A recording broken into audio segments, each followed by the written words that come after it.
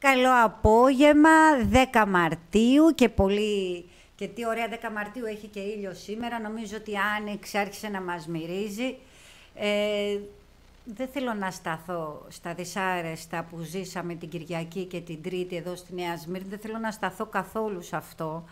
Γιατί είναι κάτι μαύρο και για μας και για την περιοχή μας και για την ηθική και για την ανθρωπότητα. Είναι κάτι μαύρο και δεν θέλω να σταθώ σε αυτό.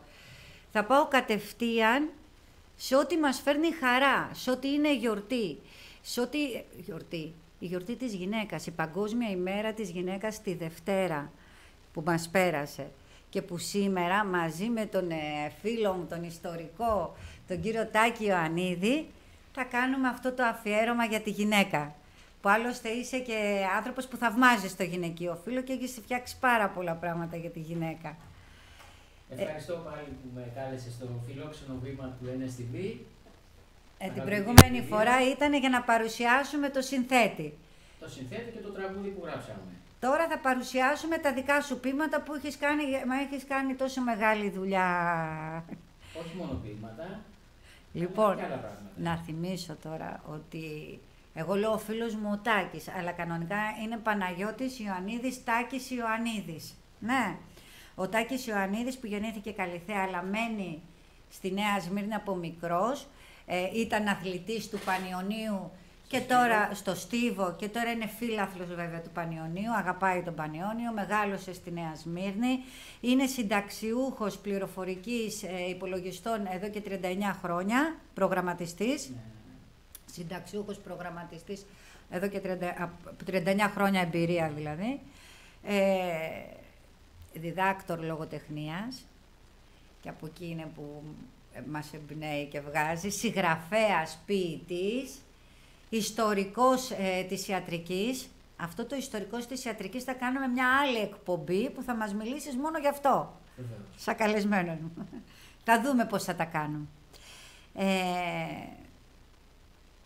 σας είχα πει και την άλλη φορά ότι είναι μια εγκυκλοπαίδεια για μένα ο Τάκης. Είναι μια εγκυκλοπαίδεια και που εγώ παρακαλάω και εγώ και οι κολόνες εδώ του στούντιου, ε, του σταθμού δηλαδή κολόνες, παρακαλάμε να δούμε πότε θα σε θεμελιώσουμε εδώ. Θα γίνει και αυτό.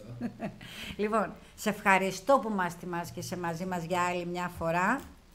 Ε, και βέβαια είναι και πρεσβευτής, γι' αυτό αγαπάει τη γυναίκα, γιατί είναι πρεσβευτής της ειρήνης. Παιδιά, είναι ποιητής, είναι ρομαντικός και τα έχει όλα μέσα. και μας το δείχνει με το έργο του. Άλλωστε δεν είναι τυχαίο. Α, δεν ξέρω κατά πόσο φέρνετε κοντά η κάμερα για να δούνε όλοι. Ε, δεν βάζουμε τη μάσκα. Την έβγαλα και εγώ γιατί λέω αφού δεν τη φοράς εσύ μην τη βάλω και εγώ να, μην, ε, να είμαστε σετ. Εντάξει, έχουμε την απόσταση. Ναι. Ε, τι ήθελα να πω τώρα. Ε, ότι ο κόσμος, κακός, βγάλε τη μάσκα, να δείτε το φωτεινό του πρόσωπο, λάμπει. Ο άνθρωπος που έχει φως μέσα του βγαίνει και έξω. Πολύ δύσκολο να είναι κάποιος μοχθηρός μέσα και να βγαίνει και προς τα έξω. Και αυτό το φως τώρα θα μας το μεταφέρει. Και ξέρω ότι έχεις ε, δύο κόρες. Δύο κόρες και ένα γιο. Α, π- Και πάμε, ένα πάμε, γονό. πάμε στις κόρες τώρα. Ναι, ναι. Πάμε εκεί για να πάω δύο κόρες, μια γυναίκα, τρεις γυναίκες μέσα στο σπίτι. Όχι Ε, μες στο σπίτι έχουν παντρευτεί οι κόρες. Ναι, αλλά με τρεις γυναίκες ενώ τις μεγάλωσες, τις γέννησες. Άκου να σου πω κάτι. Αλλιώς είναι όταν έχεις γεννηθεί από μια γυναίκα, αλλιώς είναι όταν έχεις ερωτευτεί μια γυναίκα, και αλλιώς όταν την έχεις γεννήσει και την έχεις δημιουργήσει εσύ τη γυναίκα και τη βλέπεις να αναπτύσσεται. Νομίζω ότι ο πιο σκληρός άντρας όταν κάνει ένα κοριτσάκι, το πιο, το πιο, πιο βαράω, πιο ε, αμέσως γίνεται το πιο τρυφερό πραγματάκι, μαρουλάκι, ο πιο σκληρός άντρας, σε ένα κοριτσάκι μωράκι, έτσι θα γίνει. Λιώνει. Ακριβώς, έτσι είναι. Και πόσο που τις έβλεπες και γινόντουσαν γυναίκες από κοριτσάκια, από... Ε, νομίζω ότι από αυτές τις εμπειρίες σου άρχισες να δημιουργείς. Και Θέλω να... πω- φε- ναι, θέλω να πω ότι η γυναίκα στο σπίτι είναι πολιτισμός. Αυτά. Αυτά μας λέει και μας ανεβάζει την ψυχολογία και γι' αυτό τον αγαπάμε. Λοιπόν, με κάλεσε σήμερα να μιλήσουμε για τη γυναίκα. Θα μου πεις, γιατί δεν κάλεσες μια γυναίκα να μιλήσει για τη γυναίκα;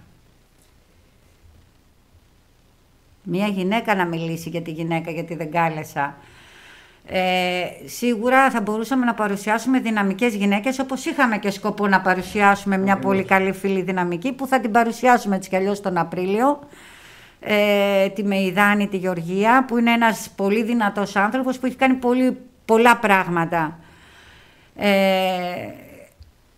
αλλά ήθελα να δω τη ματιά ενός άντρα πώς τιμάει και βλέπει τη γυναίκα. Γι' αυτό σου δίνω βήμα, γιατί θέλω να δω και είδες πώς ξεκίνησα. Εσύ άρχισες να γράφεις όταν μεγάλωνες τις γυναίκες, δηλαδή τα παιδάκια που γινόντουσαν γυναίκες και το ζούσες αυτό, άρχισε να σου γεννιέται. Γι' αυτό σε ρωτάω. Έχω αυτό. γράψει πολλά για τη γυναίκα. Ναι, γιατί είναι αλλιώς ένας άντρας να μιλάει για τη γυναίκα. Πολλά, αλλά είναι ελάχιστα. Πολλά, αλλά μπροστά στο μεγαλείο της γυναίκας είναι, είναι ελάχιστα. Είναι τίποτα, είναι τίποτα. Να, είδες. Ξέρει να τις ρίχνει κιόλας οι γυναίκες. Ναι, παρα, ε, γιορτάζουμε βασικά Ολυμπία την ε, Παγκόσμια ημέρα της γυναίκας στις 8 Μαρτίου. Βέβαια, ε, για μένα, η γυναίκα πρέπει να γιορτάζει κάθε μέρα. Θα σου πω ένα Εμείς ωραίο. Μια φίλη μας ποιήτρια, η Μαγδαληνή Τσακάλοφ, έχει έρθει εδώ. Μικρής σε ηλικία, πιο, είναι 27-30. Ε, μου γράψε ένα ωραίο όταν έγραψε ότι θα κάνουμε αφιέρωμα για τη γυναίκα. Γράφει ε, «Μπράβο Ολυμπία, αλλά να ακουστούν... Ε, κάποιοι έχουν μπερδέψει αυτή τη γιορτή της γυναίκας. Νομίζουν ότι είναι του Αγίου Βαλεντίνου δεν καταλαβαίνουν την ουσία της γιορτής της γυναίκας. Κάποιοι δηλαδή την έχουν μπερδέψει ότι και καλά θα βγάλω το θαυμασμό μου στη γυναίκα ε, σαν το, όπως το πω, το έχουν μπερδέψει με το Αγίου Βαλεντίνου κάποιοι τη γιορτή της γυναίκας. Έχουν χάσει την πραγματική ουσία. Έτσι δεν είναι; Ναι, κοίταξε. Η, βασικά είμαι κατά των παγκόσμιων ε, εορτών. Είμαι κατά. Κατά δεύτερον, η 8 Μαρτίου του 1857 διεκδίκησαν γυναίκες στα υφαντουργία και στα ταπιτουργία της ε, Νέας Υόρκης δικαιώματα. Και αυτό είχε ως αποτέλεσμα να κάψουν εκείνη την ημέρα 130 γυναίκες μέσα σε ένα εργοστάσιο. Είναι η μέρα μνήμης 8 Μαρτίου για αυτές τις 130 γυναίκες που διεκδίκησαν δικαιώματα, δικαιώματα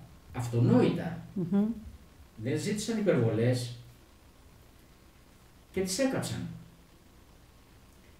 Είναι λοιπόν η μέρα μνήμης η 8η Μαρτίου. Δεν είναι ούτε χαράς, ούτε λουλουδιών, ούτε τίποτε άλλο.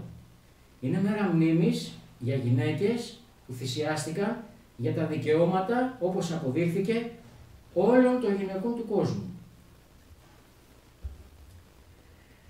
Αυτό για να βάζουμε τα πράγματα στη θέση τους. Από εκεί και πέρα η γυναίκα, όταν λέμε γιορτάζουμε τη γυναίκα, δεν θέλω να πω ότι γιορτάζουμε τη σημερινή γυναίκα. Γιορτάζουμε τη γυναίκα ως γυναίκα, ως υποσταση Η γυναίκα δεν είναι κάτι καινούριο. Η γυναίκα υπήρξε μέσα στην κοινωνία των σπηλαίων ήταν αυτή η οποία γεννούσε και ο άντρας που ότι... μαζί της την έβλεπε σαν Θεό. Α, λένε ότι κάποτε, ναι, κάποτε η γυναίκα λέει ήταν που τράβαγε τον άντρα. Όχι, όχι, κάποτε, δεν, όχι, να, δεν είναι έτσι. Δεν θέλω να μένω σε αυτά. Εγώ θέλω να μένω στην ουσία. Α τα αφήσουμε αυτά. Mm. Η γυναίκα λοιπόν είναι στη σπηλιά, ζει με έναν άντρα και ο άντρας την βλέπει σαν θεά γιατί βλέπει να βγάζει μέσα της, από μέσα της ζωή mm την, αντιμετωπίζει ως θεά. Η γυναίκα λοιπόν μένει, μένει μέσα στη σπηλιά και αναγκάζεται, επειδή μένει μέσα στη σπηλιά, να μεγαλώσει το παιδί, να μαγειρέψει για να φάνε ό,τι έχει, αλλά και να ανακαλύψει και εργαλεία χρηστικά που θα τη βοηθούσαν στη ζωή της. Διότι ο άντρας ήταν κυνηγός και έφευγε και γύριζε με ένα, ένα θύραμα. Άρα λοιπόν η γυναίκα είναι δημιουργός Έτσι ζωής, είναι εφευρέτης και είναι και διασώστης του ανθρώπινου είδους μέσω της διατροφής. Θα μιλήσω για το θέμα της διατροφής, γι' αυτό και κάνω αυτή την εισαγωγή. Από εκεί και έπειτα, όσο βελτιώνεται ο πολιτισμός, αρχίζει ο πολιτισμός να γεννιέται και ο άνθρωπος να βρίσκεται σε ποιοτικότερες κοινωνίες, στην Ελλάδα τουλάχιστον, στη χώρα μας, που είναι από τις πλέον παλιές, έχουμε πάρα πολλά παραδείγματα γυναικών που μεγαλούργησαν και παρήγαγαν εκπληκτικό έργο που επαναλαμβάνω αφορούσε όλους και όχι μόνο αυτές κυρίως αρχικά στο σπίτι διότι οι Σπαρτιάτισσες για παράδειγμα έφτιαχναν άντρες, δημιουργούσαν άντρες οι οποίοι ήταν γενναίοι, ηθικοί και αγαπούσαν την πατρίδα τους. Οι γυναίκες διαπαιδαγωγούσαν τους άντρες από μικρά παιδιά. Να. Γι' αυτό και όταν ρώτησε κάποια, κάποιος στη Γοργό, την γυναίκα του Λεωνίδα, εσείς οι γυναίκες γεννάτε τους άντρες και κυβερνάτε τους άντρες; Ναι, της απαντάει η Γοργό, διότι εμείς γεννάμε και τους κάνουμε άντρες. Οι γυναίκες λοιπόν έκαναν τους άντρες άντρες στη Σπάρτη. Από εκεί και πέρα έχουμε πάρα πολλά παραδείγματα, δεν μπορούμε να τα αναφέρουμε τώρα, λόγω οικονομίας χρόνου. Να σου πω, από την Αρκαδία όμως που είσαι και εκεί οι γυναίκες ήταν δυνατές, ξέρω, στην ε, Αρκαδία. Ε, ε, Έχω μια φίλη, τη Ράνια, που μου λέει έτσι ότι οι γυναίκες εκεί έχουν ένα δυναμισμό, έχουν δείξει την ιστορία. Οι γυναίκες της Αρκαδίας, καταρχάς να πούμε ότι οι Αρκάδες από τον Απολώνιο το Ρόδιο ονομάστηκαν Προσελήνη, διότι υπάρχουν εκεί στην Αρκαδία, στον τόπο της Αρκαδίας, πριν ακόμα εγκλωβιστεί η Σελήνη στην τροχιά της γης. Η γυναίκα λοιπόν δεν ζούσε ούτε με, τα σημερινά, με τις σημερινές ευκολίες, ούτε με ηλεκτρισμό, ούτε με όλα αυτά τα οποία απολαμβάνει σήμερα, τα τεχνολογικά επιτεύγματα τα οποία απολαμβάνει.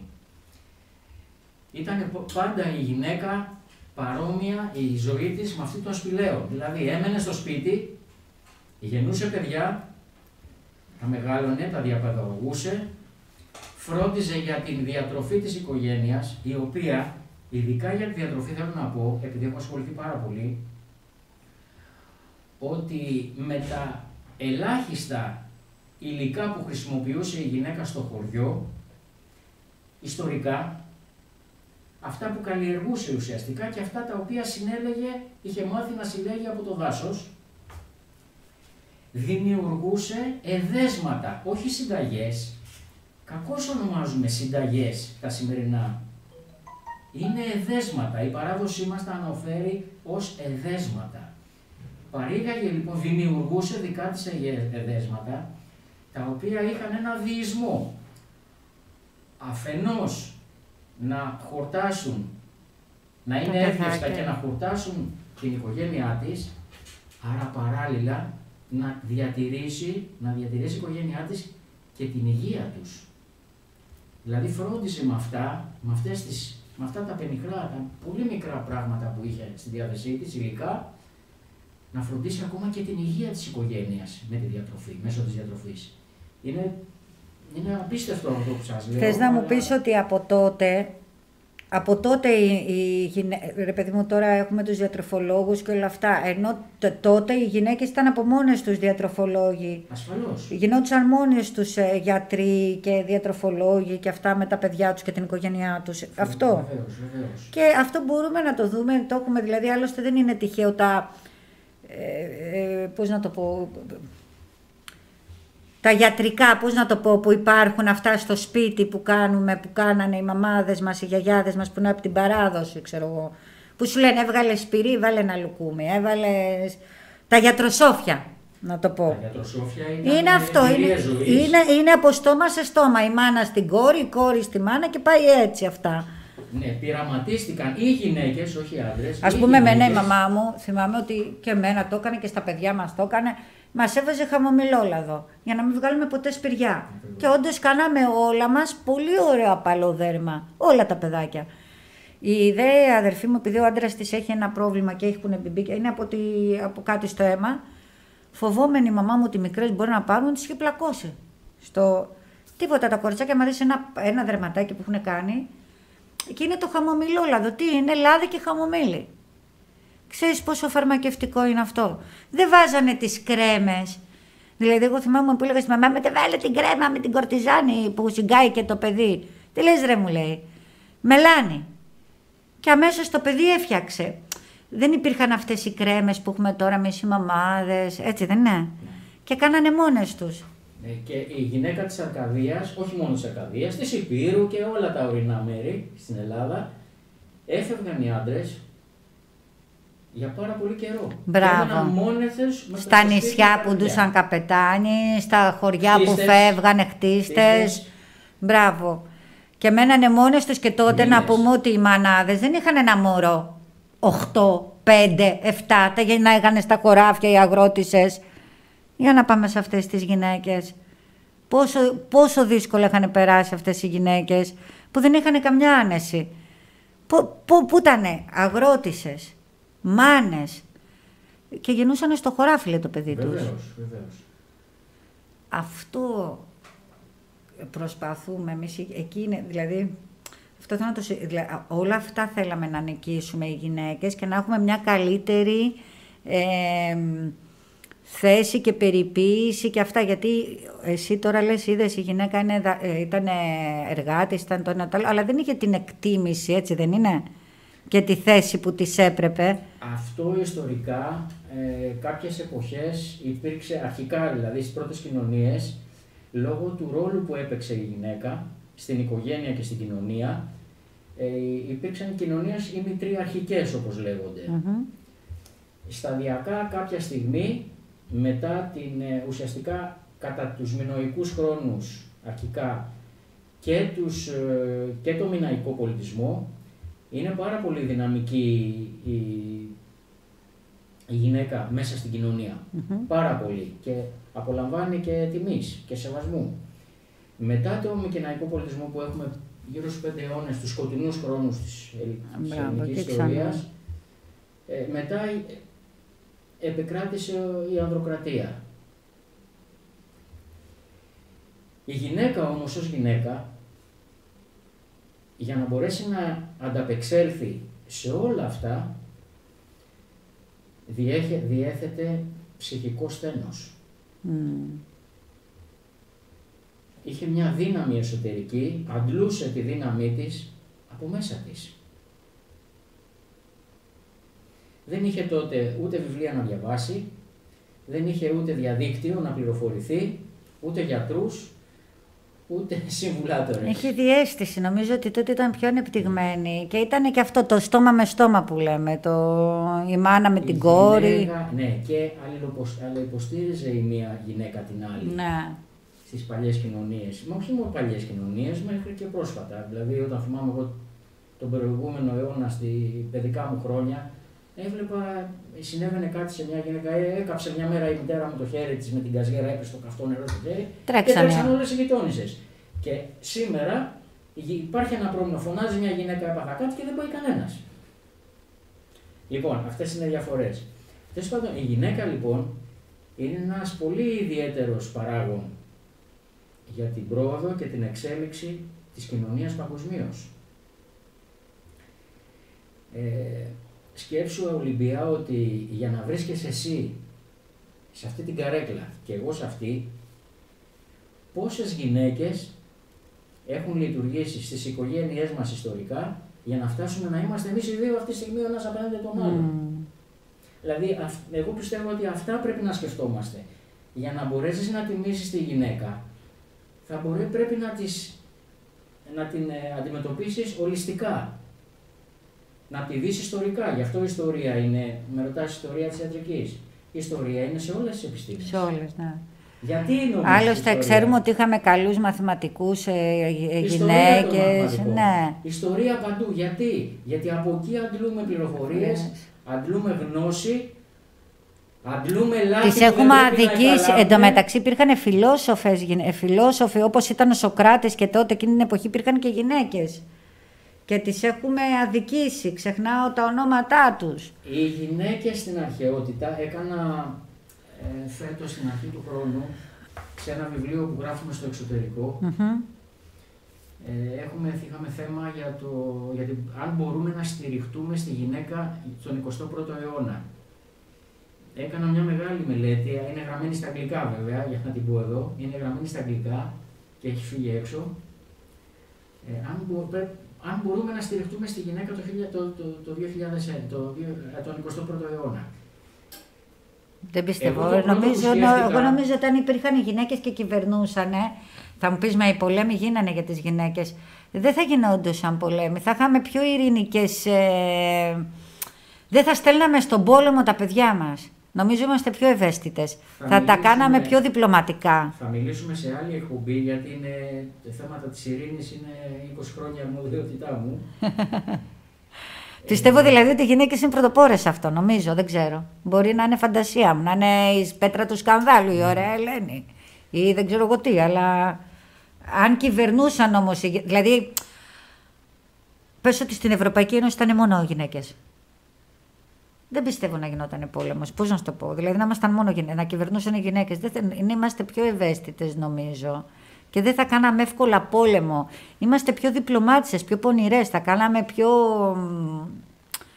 Διαφορετικά θα επιλύαμε τα πράγματα, έτσι δεν είναι; Ε, εν μέρη. Βασικά υπάρχει ένα παράδειγμα πολύ πρόσφατο, το οποίο σε δικαιώνει αυτά που λες. Όταν το κράτος της Ισλανδίας ανέτρεψε την καθεστική τάξη και έβαλε στη φυλακή τους πολιτικούς και τους τραπεζίτες Κυβερνήσα γυναίκες. Έτσι πρέπει να κάνουμε και εδώ, παιδιά.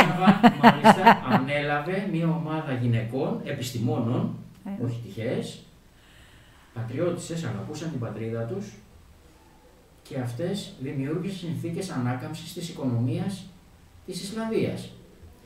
Ε, δεν γνωρίζω γιατί δεν μας τα λένε αυτά τα κανάλια. Έλα να σου πω, τα κανάλια δεν μας λένε και για την Αυστραλία. Μας το πάνε τώρα, ενώ η Αυστραλία έχει πάψει να έχει κορονοϊό εδώ και τρεις μήνες που μιλάω εγώ με ανθρώπους από την Αυστραλία. Άλλη ιστορία. Μην, μην, τα συζητάμε. Ό,τι θέλουν μας λένε. Όταν λοιπόν ο Ολυμπία μου έρχεται από το εξωτερικό μια, ένα αίτημα και μου λένε γράψε τη θέση σου αν μπορούμε να, να στηριχτούμε στη γυναίκα στον 21ο αιώνα, εγώ γέλασα. Διότι αυτοί οι άνθρωποι είχαν αμφιβολίες εάν μπορούμε να στηριχτούμε στη γυναίκα το 21ο αιώνα. Μα αν έχεις αμφιβολίες, για να έχεις αμφιβολίες, άρα δεν έχεις μελετήσει το παρελθόν της γυναίκας. Από την εποχή των σπηλαίων μέχρι σήμερα. Βέβαια, οι άλλες χώρες, δεν μιλάω σοβινιστικά προς Θεού, έτσι, ε, οι άλλες χώρες είναι πολύ πρόσφατες. Δεν έχουν ιστορία.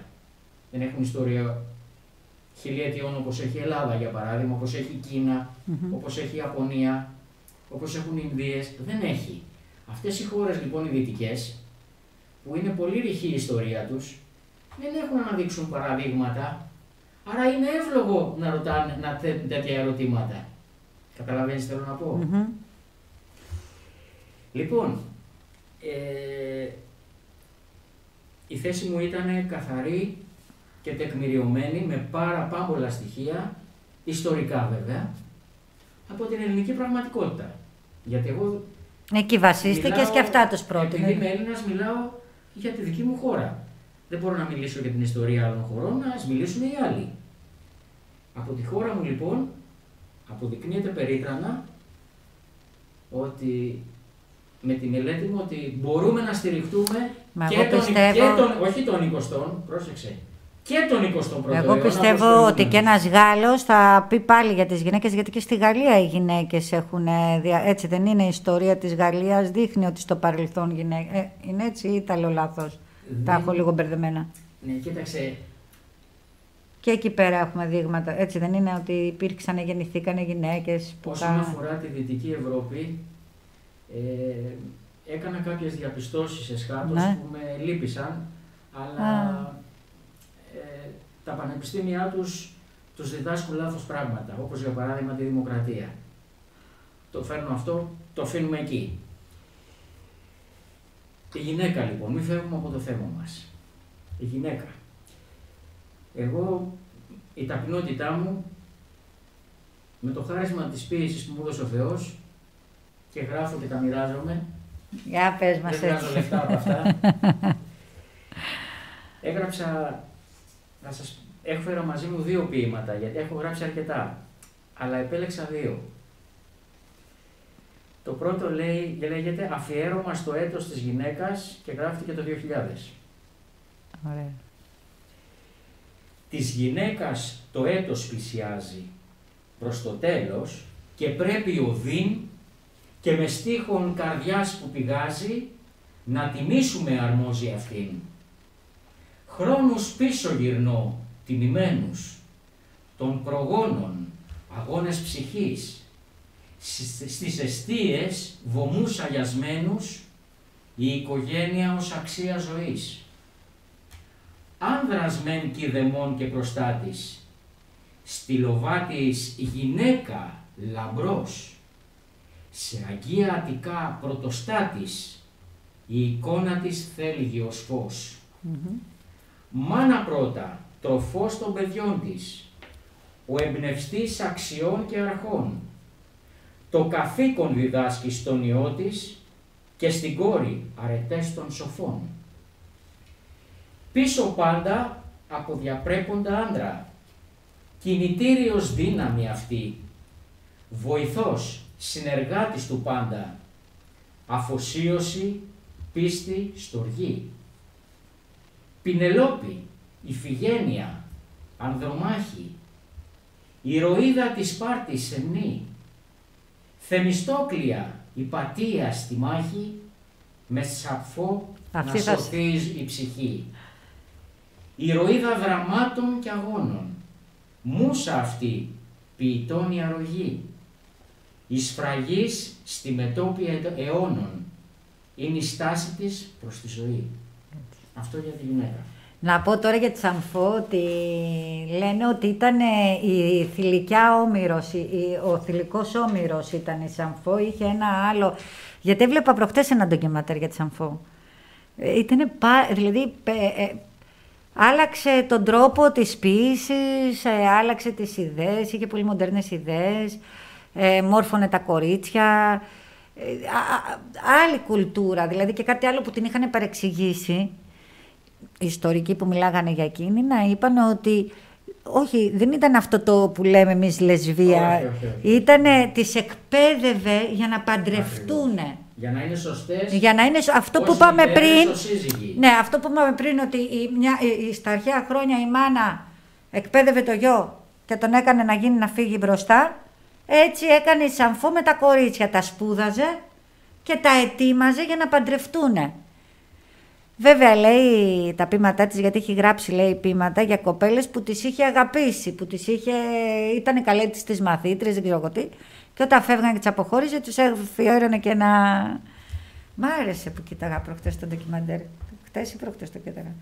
Μάλλον τη Δευτέρα το βράδυ θα το βλέπα. Ναι, κοίταξε, η γυναίκα... Εσύ θα ξέρεις πολλά για τη Σαμφού, γιατί... Ε, πολύ ιδιαίτερη μορφή. Ε, ναι. Αλλά ποιος ασχολείται σήμερα, ερωτώ. Ποιος ασχολείται; Λέει ότι εκείνα τα χρόνια, προσέξτε, εκείνα τα χρόνια ήταν διαφορετικά όμως η σκέψη. Ήταν το ωραίο, θαυμάζανε το ωραίο. Ε, και μάλιστα έφερε ένα παράδειγμα αυτός ο ιστορικός και λέει όπως ο Σοκράτης ε, ε, ε, πώς να το πω, θαύμαζε το ωραίο και το επενούσε, η ομορφιά δεν έχει ε, φίλο.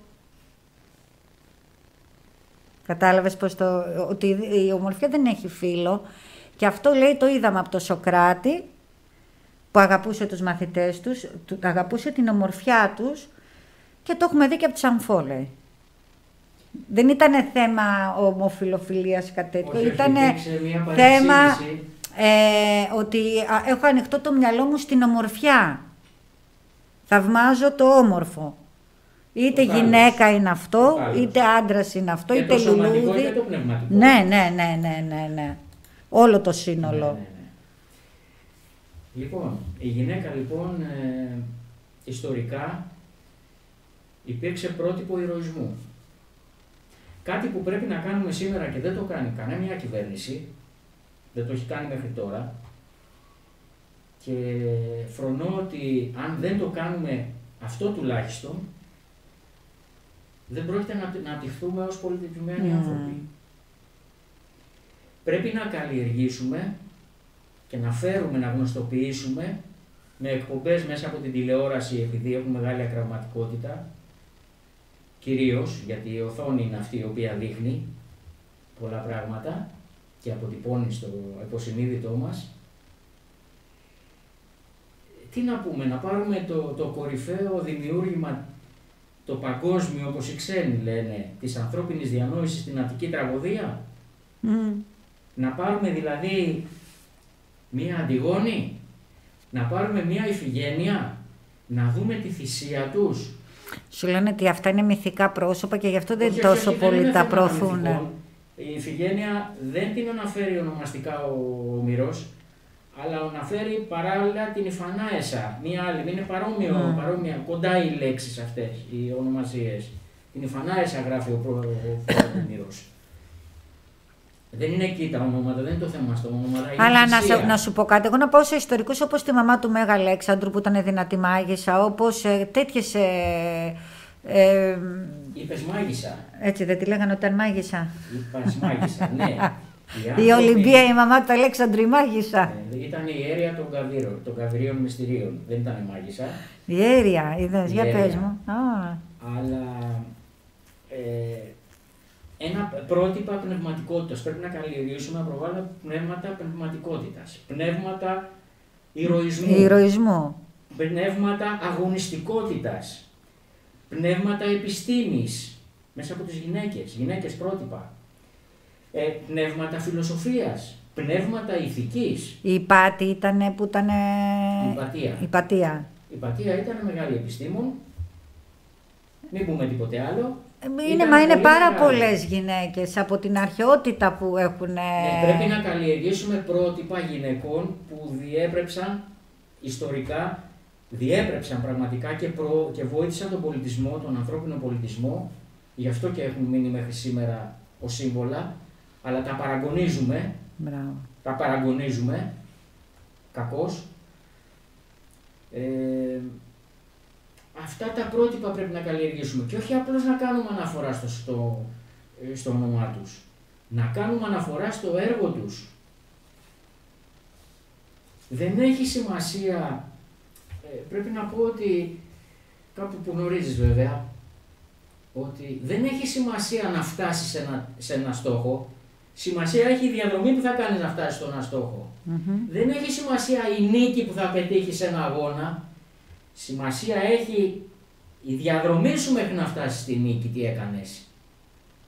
Άρα πρέπει να δούμε τη διαδρομή της γυναίκας ιστορικά, των προτύπων γυναικών ιστορικά.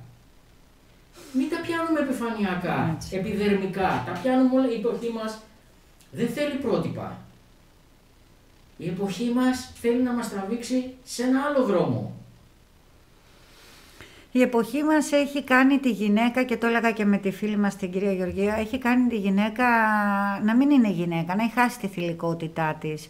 Ένα ωραίο που άκουσα προχτές στην τηλεόραση, που τα άκουσα, που λέει ε, να, η γυναίκα ό,τι δουλειά και να κάνει, ποιος το πέφκα, που τα άκουσα, ό,τι δουλειά και να κάνει, ας γίνει νταλικέρης, να μην χάσει τη θηλυκότητά της. Ας γίνει πολιτικός, ας γίνει οικοδόμος. Ό,τι και να κάνει όμως, μη χάσει τη γυναίκα, τη θηλυκότητα. Δυστυχώς, εγώ το βλέπω και στις ανιψιές μου, το βλέπω ε, και, και, στα, και, και σε μένα το βλέπω. Χάσαμε τη θηλυκότητα. Δεν υπάρχει θηλυκότητα. Δεν έχουμε, ε, τα κορίτσια έχουν γίνει τραμπούκοι. Θα σου δώσω τα κορίτσια Άλλο... Τείνουν, να γίνουν άντρες και τα αγόρια τείνουν να γίνουν γυναίκες. Αυτό είναι το σύνθημα της εποχής. Ναι, γιατί το κάνουμε αυτό, έχουμε αλλάξει. Αυτό είναι άλλη ιστορία, άλλο θέμα. Θα σου πω ένα προσωπικό βίωμα σε αυτό και μιλάω αληθινά. Ε, συνηθίζω να περπατάω με ένα συμμαθής μου, είμαστε την πρώτη δημοτικού μαζί. Εσύ είμαστε παππούδες. Ναι, έλα μωρέ, μην το. Μα λέει παππούς και εγώ τον κάνω από Λοιπόν, 50 και Άκουσε, άκουσε, άκουσε. Περπατούσαμε στην Ελευθερίου Βενιζέλου και ξαφνικά βλέπω μπροστά μας να έρχεται από το αντίθετη κατεύθυνση μία γυναίκα που φορούσε φουστάνι. Ολόσωμο φουστάνι. Ωραίο. Με, Θηλυκότητα, με ωραίο. ζώνη στη μέση. Ωραία, θηλυκιά. Και φόραγε και γόβα Ωραίο. και ειλικρινά το λέω, Σου κάνει ωραίο, ως ανθρωπός, ως θηλυκότητα. άντρας, Τι θαύμασες. Όταν μας προσπέρασε, σταμάτησα και γύρισα πίσω και τη χάζευα. Γιατί είχε αυτή τη θηλυκότητα. Έτσι. Η γυναίκα, Η κυρία Μηδόνη, όταν είδα τις φωτογραφίες της, λέω, μα τι θηλυκό κορμί είναι αυτό που έχεις, δηλαδή τι θηλυκότητα, τον ντύσιμό της. Έχουμε χάσει πια τις γυναίκες που βάζαν τη γοβίτσα με το καλτσόν, τη φουστίτσα μέχρι το γόνατο, αυτό το θηλυκό, το ωραίο. Ε, Ολυμπιακή. το ωραίο, το έχουμε χάσει. Ε, θα μου πεις, ρε Ολυμπία, κοίτα τα χάλια που μου σκάσες μύτη με τις φόρμες. Ναι, έχουμε, α, έχουμε χάσει όμως τη θηλυκότητά μας οι γυναίκες. Αλλά και με τις φόρμες να είσαι. Να έχεις θηλυκότητα, να έχεις... ε, Μην είσαι άστριψνο το τσιγάρο. Ε, Κατάλαβες. Είναι πολύ σημαντικό. Εγώ λοιπόν σκεπτόμενος στις γυναίκες, να θυμηθώ γιατί έχω και ποντιακή καταγωγή από τον πατέρα, ε, δεν μπορώ να, από τότε που πήρα την πληροφορία μελετώντας για τα επτά νίκια της Σάντα, Α, που τα έπνιξαν οι μητέρες τους και σώθηκαν 300 άνθρωποι, 300 ψυχές, τι- τι- δεν το- δεν- δεν- Για πει το, πει, βρήκαν οι μάνες τη δύναμη, τι- πες ναι, για πες. ήταν στο βουνό, προσπαθούσαν να διαφύγουν, 300 άτομα και 7 γυναίκες είχαν μωρά νεογέννητα. Είχαν γεννήσει στο βουνό. Μμμ. Ήταν βράδυ και ήταν σε σπηλιά και περνούσε ο τουρκικός στρατός απ' έξω. Και είπανε, αν κλάψουν τα παιδιά, μας σκότωσαν. Και τα έπνιξαν οι ίδιες οι μητέρες. Τα επτά νήπια το Αγάπες μου. συζητούμε. Η Σάντα. Αυτές οι μάνες πώς το καταφέραν αυτό το πράγμα; Πώς το κάνανε; Η Θεανού η Σπαρτιάτισσα, όταν γύρισε ο γιος της ο Παυσανίας, ήταν η πρώτη που έβαλε την πόρτα, έξω, από- την πέτρα έξω από την πόρτα για να πεθάνει ο γιος της. Δεν πονούσε μέσα της, Γιατί το έκανε αυτό, για να μην πούνε γιατί; Γιατί είχε άλλα ιδανικά και αξίες μέσα της. Δεν έβλεπε το εγώ, έβλεπε το εμείς Ολυμπία. Αυτό το λάθος το τεράστιο της σημερινής εποχής. Είναι το εγώ Είδατε και όχι τώρα, το εμείς. εγώ σαν μανούλα αμέσως είπα πω, πω, πώς βρήκα και τι ωραία το εγώ να το αυτό το εμείς. Ναι, το, το, εγώ- το εμείς. Δηλαδή φεύγουν οι άντρες από τη Σπάρτη. Αχ, σε παρακαλώ, κάνω μια χάρη. Επειδή λέγαμε σε μια ομάδα για το εγώ και το εμείς, μπορείς κάπως να μου στείλεις αυτό, να το στείλω σε παράδειγμα, ότι Βεβαίως, βεβαίως. να και οι Ελληνίδες Θα σου τότε, στείλω οι ένα παράδειγμα μόνο Σπαρτιάτες. για το εγώ. Αχ, μπράβο. Ναι. Στείλ το για να το πάω σε μια ομάδα να το δώσω που θέλω. Λοιπόν, δεν μπορεί να φεύγει ο στρατός από τη Σπάρτη να πάει να πολεμήσει αλλού και πολιορκεί και πηγαίνει να πολιορκήσει τη Σπάρτη να την καταλάβει ο στρατηγός Πύρος από την Ήπειρο. Μμμ. Και μέσα σε μία νύχτα οι γυναίκες της Σπάρτης έσκαψαν μία βαθιά τάφρο και δεν μπόρεσαν να περάσει ο Πύρος. Μπορείς να το διανοηθείς αυτό; Αυτό το έκαναν γυναίκες, δεν το έκαναν άντρες. Έτσι. Και δεν ξέρω εάν οι βρε- ε, βρίσκονται άντρες. Αν θα το σκεφτόντουσαν να το κάνουνε. Όχι μόνο θα το σκεφτόντουσαν, αλλά θα μπορούσαν και να το κάνουν. Οι γυναίκες όμως το έκαναν. Κάνα. Και Είναι τις, λοιπόν ε, ηρωίδα η γυναίκα, άρα μπορούμε να φέρουμε πρότυπα ηρωισμού της γυναίκας. Εννοείται. Και έτσι λοιπόν έγραψα ένα ποίημα άλλο, ή ένα από τα ποίηματα που έχω γράψει, επέλεξα για σήμερα. Αφιέρωμα στη γυναίκα. Η διαιώνια ηρωίδα γυναίκα, μορφή διαιώνια ο μήτρα της αρχής, κοσμή στο μέγεθος των θρύλων και ιστορίας, η παρουσία σου στα μύχια της ζωής. Είναι το φως και ο γητευτής δημιουργίας, μες στα αρχαίγωνα λυκνίσματα του νου. Είσαι η στάση στη ζωή ψυχής πορθούτε, τελετουργείς και φαίνεις έργο του Θεού. Υπάκουοι χρέους που στα έργα σου δηλούνται, μες στο καλύρωον του έρωτος ανθείς. Η υπομονή σου κτίζει δύναμης πυλώνες, παγκόσμιο σύμβολο της θέλησης, μοχθής. Σαν υπερήφανος μπροστάρης τους αιώνες, τον κάθε πόνο απαλύνεις με στοργή. Ιερουργείς με της αγάπης στην ουσία. Είναι η ευχή σου ελιξίριο στην ψυχή. Τιμή σου πρέπει, ο γυναίκα αιωνία. Έτσι. Για μας γράφουν αν ακούγεται καλά η φωνή. Κάτσε να δούμε τι μας λένε. Τι μας λένε. Α,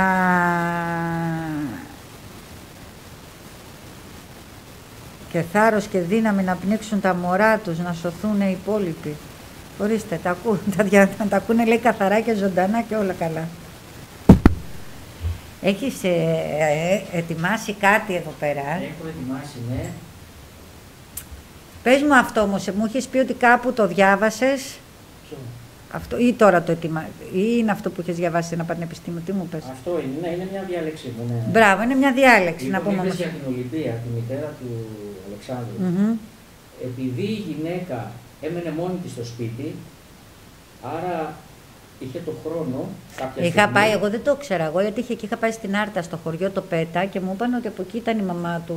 Όταν είπα ότι με λένε Ολυμπία, μου λένε Α, είσαι, είσαι τη μαμά του Μέγα Αλέξανδρου που ήταν από εδώ από το Πέτα, που ήταν μάγισσα και έτσι. Όχι, Ναι, ο κόσμος ε, λόγω της άγνοιας του για πολλά πράγματα, ειδικά οι παλιοί άνθρωποι που δεν είχαν γνώσεις, όταν έβλεπαν να κάνουν κάποια πράγματα περίεργα οι Ναι, γυναίκες, ναι. έτσι ξεκίνησαν να τις ονομάσουν μάγισσες. Μετέπειτα όμως αυτές οι μάγισσες έγιναν και οι ιέρειες των μυστηρίων Μμμ. στις θρησκείες. Οι γυναίκες ήταν οι ιέρειες.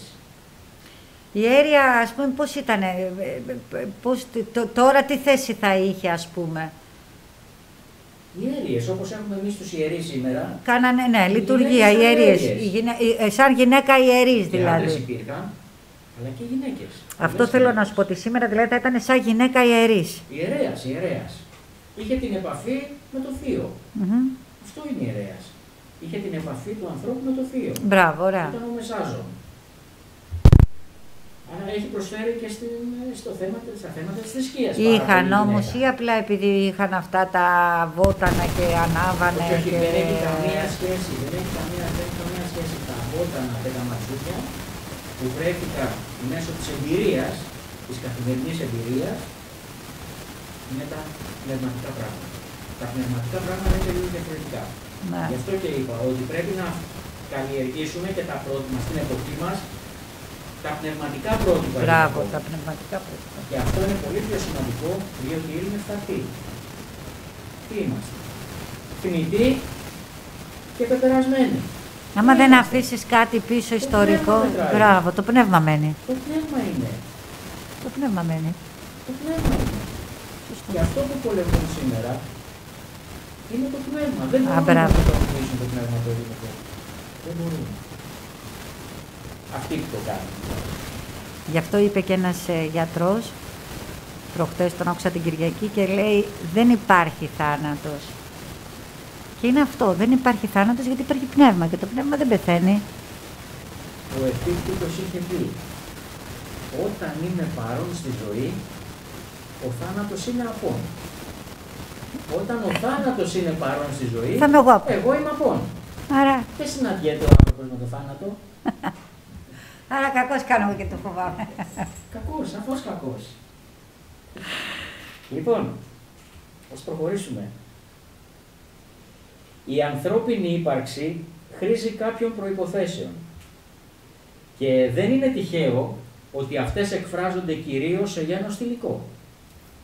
Δηλαδή η αγάπη και η ερωτική συνέβρεση, το δεύτερο μετά την επιβίωση ένιξη του, του ανθρώπου, Στη μήτρα, μέσα στην κοιλιά μιας γυναίκας, γονιμοποιείται το πρώτο ανθρώπινο κύτταρο που το καταλαμβάνει η ψυχή. Με τη γένα και τη βοήθεια ιατρού ενίοτε γυναίκας με ευτήρα, μες γυναίκες ήτανε τότε, παλιά, μες έχουμε και σήμερα. Και μέας εισέρχεται ο άνθρωπος στη ζωή του πλανήτη Γη και στη φύση. Η νοσοκόμα γυναίκα φροντίζει τον νεογνώ. Η μητέρα γυναίκα το θυλάζει, το ταΐζει, το καθαρίζει, το μαθαίνει να περπατάει, να μιλάει, να αγαπάει, να χειρίζεται τα μέλη του. Ξενυχτάει στο πλευρό του τις νύχτες όταν νοσεί. Η γυναίκα. το πηγαίνει στο σχολείο, στην παιδική χαρά, στις αρθροπαιδιές. Προτάσει τα στήθη της για να το προστατέψει από πολεμικές ή άλλες βίαιες πράξεις και δραστηριότητες. Mm. Στερείται την τροφή και τη διασκέδαση για να το μεγαλώσει. Εργάζεται, αγωνίζεται σκληρά για να το αναστήσει και να το εντάξει στην κοινωνία μας όπως αρμόζει. Γνωστά άπαντα τα όσα αναφέρεις, θα μου πείτε εύλογα. Αλλά προς τι αυτή η αναφορά τους. Μα φυσικά λόγω του μεγάλου χρέους που έχουμε στη γυναίκα. Για όλα τα οσάνω και πλήστα άλλα που λησμόνησα να αναφέρω. Διότι πώς είναι δυνατόν να γνωρίζει κάποιος τα αισθήματα, τις σκέψεις, τις εμπειρίες, τους προβληματισμούς, τους αγώνες εκάστης γυναίκας στη διαιώνια ιστορία του ανθρωπίνου είδους από τον πλανήτη. Είναι δυνατόν.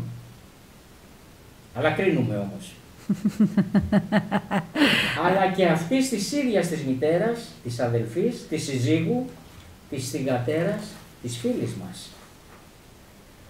Πώς μπορούμε να κρίνουμε, κατακρίνουμε, ακόμη και τις λανθασμένες, τις τραγικές, τις βίαιες, τις αποτρόπες, τις ανίερες πράξεις μιας γυναίκας, αγνοώντας ποιες ήταν οι αιτίες που τις οδήγησαν σε αυτές; Και μιλάμε για μια μύδια, μιλάμε για... Ε; Γεγονός είναι πως σήμερα, εν έτη 2021, στον πολιτισμένο κόσμο μας, δεν σεβόμαστε τη γυναίκα. Την αντιμετωπίζουμε ως ερωτικό αντικείμενο, ως πυθύνιο όργανο, ως δουλική υπάλληλο, Σωστό. ως μέσον επίτευξης ανίωρων και σκοτεινών επιδιώξεων και πόθων μας. Πολύ σωστά τα λέτε. Τις φερόμαστε ανάγωγα και κτητικά. Απαιτούμε και μόνον από αυτήν. Έτσι, μπράβο. Απαιτώ. Την χρησιμοποιούμε. Σωστό. Την υποβιβάζουμε. Σωστότατο. Την απειλούμε. Σωστό. Τη βασανίζουμε έστω και ψυχολογικά. Ψυχολογική βία, ναι. Γι' αυτό βγήκαμε τώρα. Αδιαφορούμε για τα όνειρα, τις ανάγκες της, τα δικαιώματά της. Η χρόνια ερευνητική μου εμπειρία διεθνώς είναι διαντισμένη από κακοποιημένες και δολοφονημένες γυναίκες ανά την Ιφίλιο. Αυτό είναι άλλο θέμα. Με κομμένα μαλλιά, μύτες και αυτιά και κλειτορίδες. Μιλάμε τώρα για τις χώρες που ακόμα και τώρα... Με καμένα παραμορφωμένα πρόσωπα και μέλη. Ναι, ναι, ακόμα υπάρχουν αυτά. Λιθοβολισμένες και δολοφονημένες επειδή τόλμησαν να γράψουν ποίηση. Εχθές διάβαζα πάλι στις ειδήσεις για μια μάνα που την, ε, που την πήραν γιατί πήρε το παιδί της, λέει, πήρε το παιδί της. Και την κλείσανε φυλακή γιατί πήρε το παιδί της από τον άντρα. Δυστυχισμένες που αναγκάστηκαν να πηδήξουν από μεγάλα ύψη για να γλιτώσουν από την εξευτελιστική και καταναγκαστική εργασία σε εργοστάσια με απάνθρωπες συνθήκες εργασίας της Ασίας. Μιλάμε τώρα για εκείνες τις χώρες, γιατί εδώ κάπως τώρα το έχουμε ξεφύγει λίγο, ε. Ή σε κάποιες άλλες χώρες, ας πούμε, οι γυναίκες έχουν ξεφύγει. Γιατί σήμερα έβλεπα και ένα άλλο πάλι ε, με, στην... Ε, τέλειωσε και μετά με στο διακόψω. Ευτελισμένες και τραυματισμένες από βίους βιασμούς και το εμπόριο λευκής αρκός. Ανθρώπινα ερήπια δεμένα στο όχημα των ναρκωτικών σε όλες τις υπήρους. Κατακαιρματισμένα, εμόφυρτα κορμιά από πολεμικές δραστηριότητες, φρικιαστικών πολέμων και εμφυλίων πολέμων. Αποστεωμένα ζωντανά λείψανα από την πείνα και αφιδατωμένα από τη δίψα στην Αφρική και την Ασία.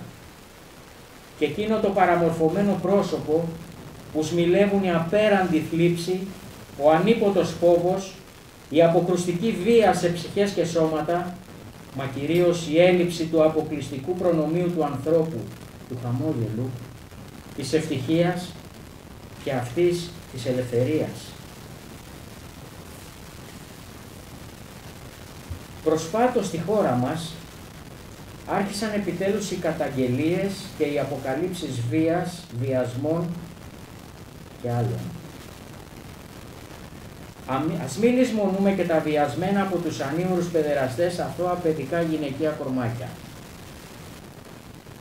Προσωπικά επιθυμώ να σας θυμίσω τον ηρωισμό, την αυταπάρνηση και την τεράστια προσφορά της γυναίκας στους εθνικούς αγώνες και στους συνδεχθείς εμφυλίους αντίστοιχους εθνικούς παραγμούς. Αλλά σήμερα τιμούμε για έναν ακόμη λόγο τη γυναίκα. Τιμούμε όπως καθιερώθηκε τη μνήμη των αγώνων της γυναίκας όταν το 1857 εξεγέρθηκαν, απέτησαν δικαιώματα και 130 από αυτές κάκια ζωντανές σε εργοστάσιο υφασμάτων στη Νέα Υόρκη. Ομοίως το έτος 1916 στο Παρίσι. Και ας μην ξεχνάμε ότι η Ελληνίδα γυναίκα απέκτησε δικαίωμα ψήφου μόλις το 1957. Τώρα δηλαδή, η μαμά μου ήταν 6 χρονών δηλαδή. Ακριβώς. Το 1957. Εμείς δηλαδή στην Ελλάδα από το 57 που ψηφίζουν οι γυναίκες, πριν δεν ψηφίζαμε. Δεν ψηφίζαμε. Η αλήθεια είναι τώρα όμως να σου πω κάτι. Σε 60-70 χρόνια τα ισοπεδώσαμε όλα. Κοίταξε να δεις. Από τη μία είναι πολύ ωραία, αλλά κάπου μερικές γυναίκες έχουμε ξεφύγει όμως. Δηλαδή, βλέπεις τώρα και γίνονται ε, μητράρχικες, δηλαδή ε, πάω εγώ μαζί σου, κάνω ένα παιδί, παίρνω το παιδί και δεν μπαίνω να πνιγείο ή δεν με ενδιαφέρει αυτός. Θα το μεγαλώσω μόνη μου το παιδί. Ε, κάνουμε τέτοια λάθη. Έχουμε δηλαδή κάπου πρέπει, ναι, ισότητα, αλλά ισότητα τι σημαίνει, είμαστε ίσοι. Ούτε εγώ καβαλάω εσένα, ούτε εσύ καβαλάς εμένα. Ούτε εγώ προσπαθώ να φανίσω τον αντρισμό σου, την αξιοπρέπειά σου, γιατί παιδιά είναι το γιν και το γιάν. Το ένα ενώνει το άλλο. Χωρίς εσένα εγώ δεν κάνω, χωρίς εσύ εμένα δεν κάνεις. Πρέπει να είμαστε έτσι. Όπως και να το κάνουμε, είμαι θηλυκό. Πρέπει να είμαι πιο ρομαντική, πιο ευαίσθητη. Είναι από τη φύση η γυναίκα να είναι. Γι' αυτό σου είπα ότι θα ήμασταν πιο ήρωνο, θα είχαμε ειρήνη γυναίκες αν κυβερνούσαμε. Γιατί είναι από τη φύση μας να είμαστε πιο ευαίσθητες. Ε, δεν μπορεί η γυναίκα, και κακά τα ψέματα, δεν κατουράμε όρθια. Δεν ξέρω να το πω έτσι λαϊκά κι εγώ. Να σεβόμαστε κάποια πράγματα. Δεν μπορώ εγώ να γίνω και πατέρας και μάνα. Πρέπει να σέβομαι τον πατέρα του παιδιού μου. Στο λέω αυτό γιατί τώρα τελευταία έχω πάρα πολλά παραδείγματα τέτοια. Έχουμε πάρα ξεφύγει, ρε φίλε. Πάρα πολλά, Να σου πω κάτι. Εγώ χώρισα πολλά χρόνια πριν, παρόλο που ο άντρας μου ήταν εντάξει. Ποτέ μα ποτέ δεν είπα στο παιδί μου το τόσο. Γιατί πρέπει το παιδί να έχει και τα δύο. Και πατέρα και μανούλα. Και τα δύο για να είναι υγιής ορθρό. Όπως δεν μπορούν δύο γυναίκες τώρα που έχουμε κάνει όλα αυτά τα μοντέρνα και αυτά να παντρευτώ εγώ μια γυναίκα και να υιοθετήσω ένα παιδί και το παιδί αυτό να έχει δύο μαμάδες. Ή δύο, ή δύο άντρες. Εμείς νομιμοποιήσαμε δυστυχώς και στη χώρα μας, δυστυχώς το λέω γιατί είναι ανήθικο, είναι θέμα ηθικής. Παιδιά, έχουμε Όταν αλλάξει. Ξέρεις τι γίνεται; Σου λένε ανθρώπινα δικαιώματα. Μπλέξαμε και αυτή τη λέξη ανθρώπινα δικαιώματα. Ανθρώπινα δικαιώματα μέχρι ενός ορισμένου. Α, κοίταξε να δεις. Γιατί να έχω ανθρώπινα δικαιώματα για τον Κουφοντίνα και να μην έχω ανθρώπινα δικαιώματα για το Λιγδάνι. Δηλαδή, για να δει πόσο αλήτες είμαστε εμείς τώρα, οι απ' έξω που καθόμαστε στους καναπέδες και κρίνουμε. Και γιατί να μην έχω ανθρώπινα δικαιώματα για αυτούς που δολοφόνησε ο Λιγδάνης; Δηλαδή, έχουμε τα ανθρώπινα δικαιώματα, τα έχουμε μπλέξει. Ναι, δεν έχουν οι άνθρωποι καθοδηγήθηκαν πολύ αριστοτεχνικά μέσω της τηλεόρασης και μέσω περιοδικών των προηγούμενων ετών, δεν θέλω να αναφέρω τα ονόματα, τα γνωρίζουμε όλοι, περιοδικά τα οποία έδωσαν λάθος κατευθύνσεις στις γυναίκες, τους έδωσαν, τους καθοδήγησαν ότι είναι ελεύθερες, ότι είναι ανεξάρτητες, επειδή εργάζονται... Γι' αυτό μετά τα 40 οι περισσότερες, και εδώ είμαι, και ας έρθει κάποια να μου πει ότι δεν ισχύει. Όλες αυτές οι φιλελεύθερες γυναίκες λοιπόν μετά τα 40-45 αρχίζουν και πίνουν χαπάκια. Εντάξει, δεν είναι τυχαίο αυτό που έχουμε σχιζοφρενείς άτομα, που έχουμε διπολικά άτομα, που έχουμε ε, τόσες ψυχασθένειες, τόσο, γιατί δεν γίνεται να ζήσω εγώ μόνη μου, ούτε εσύ μόνος σου. Πρέπει να είμαστε, να γίνουμε, πώς να σου το πω, το, το αγόρι με το κορίτσι μαζί. Ούτε εγώ να... Το βάζω τον εαυτό μου παράδειγμα, ε, για να μην... Ε, έχω, αυτό ήθελα, ξέρεις γιατί το ήθελα να το πω, γιατί μπερδεύουμε τη γιορτή της γυναίκας. Όπως μου το είπε και η φίλη μου, μου λέει, α, κάποιοι το βλέπουν λες και είναι το Αγίου Βολαντίνου και σου την πέφτουνε. Σου λένε χρόνια πολλά και καλά γιορτή της γυναίκας γιατί σου την πέφτουνε. Έχουν ξεχάσει τι είναι. Η γιορτή της γυναίκας είναι ότι εγώ όταν με υποβιβάσατε και να τώρα που άκουσα ότι εδώ στην Ελλάδα αρχίσαμε να ψηφίζουμε το 57, γίναμε ίσοι.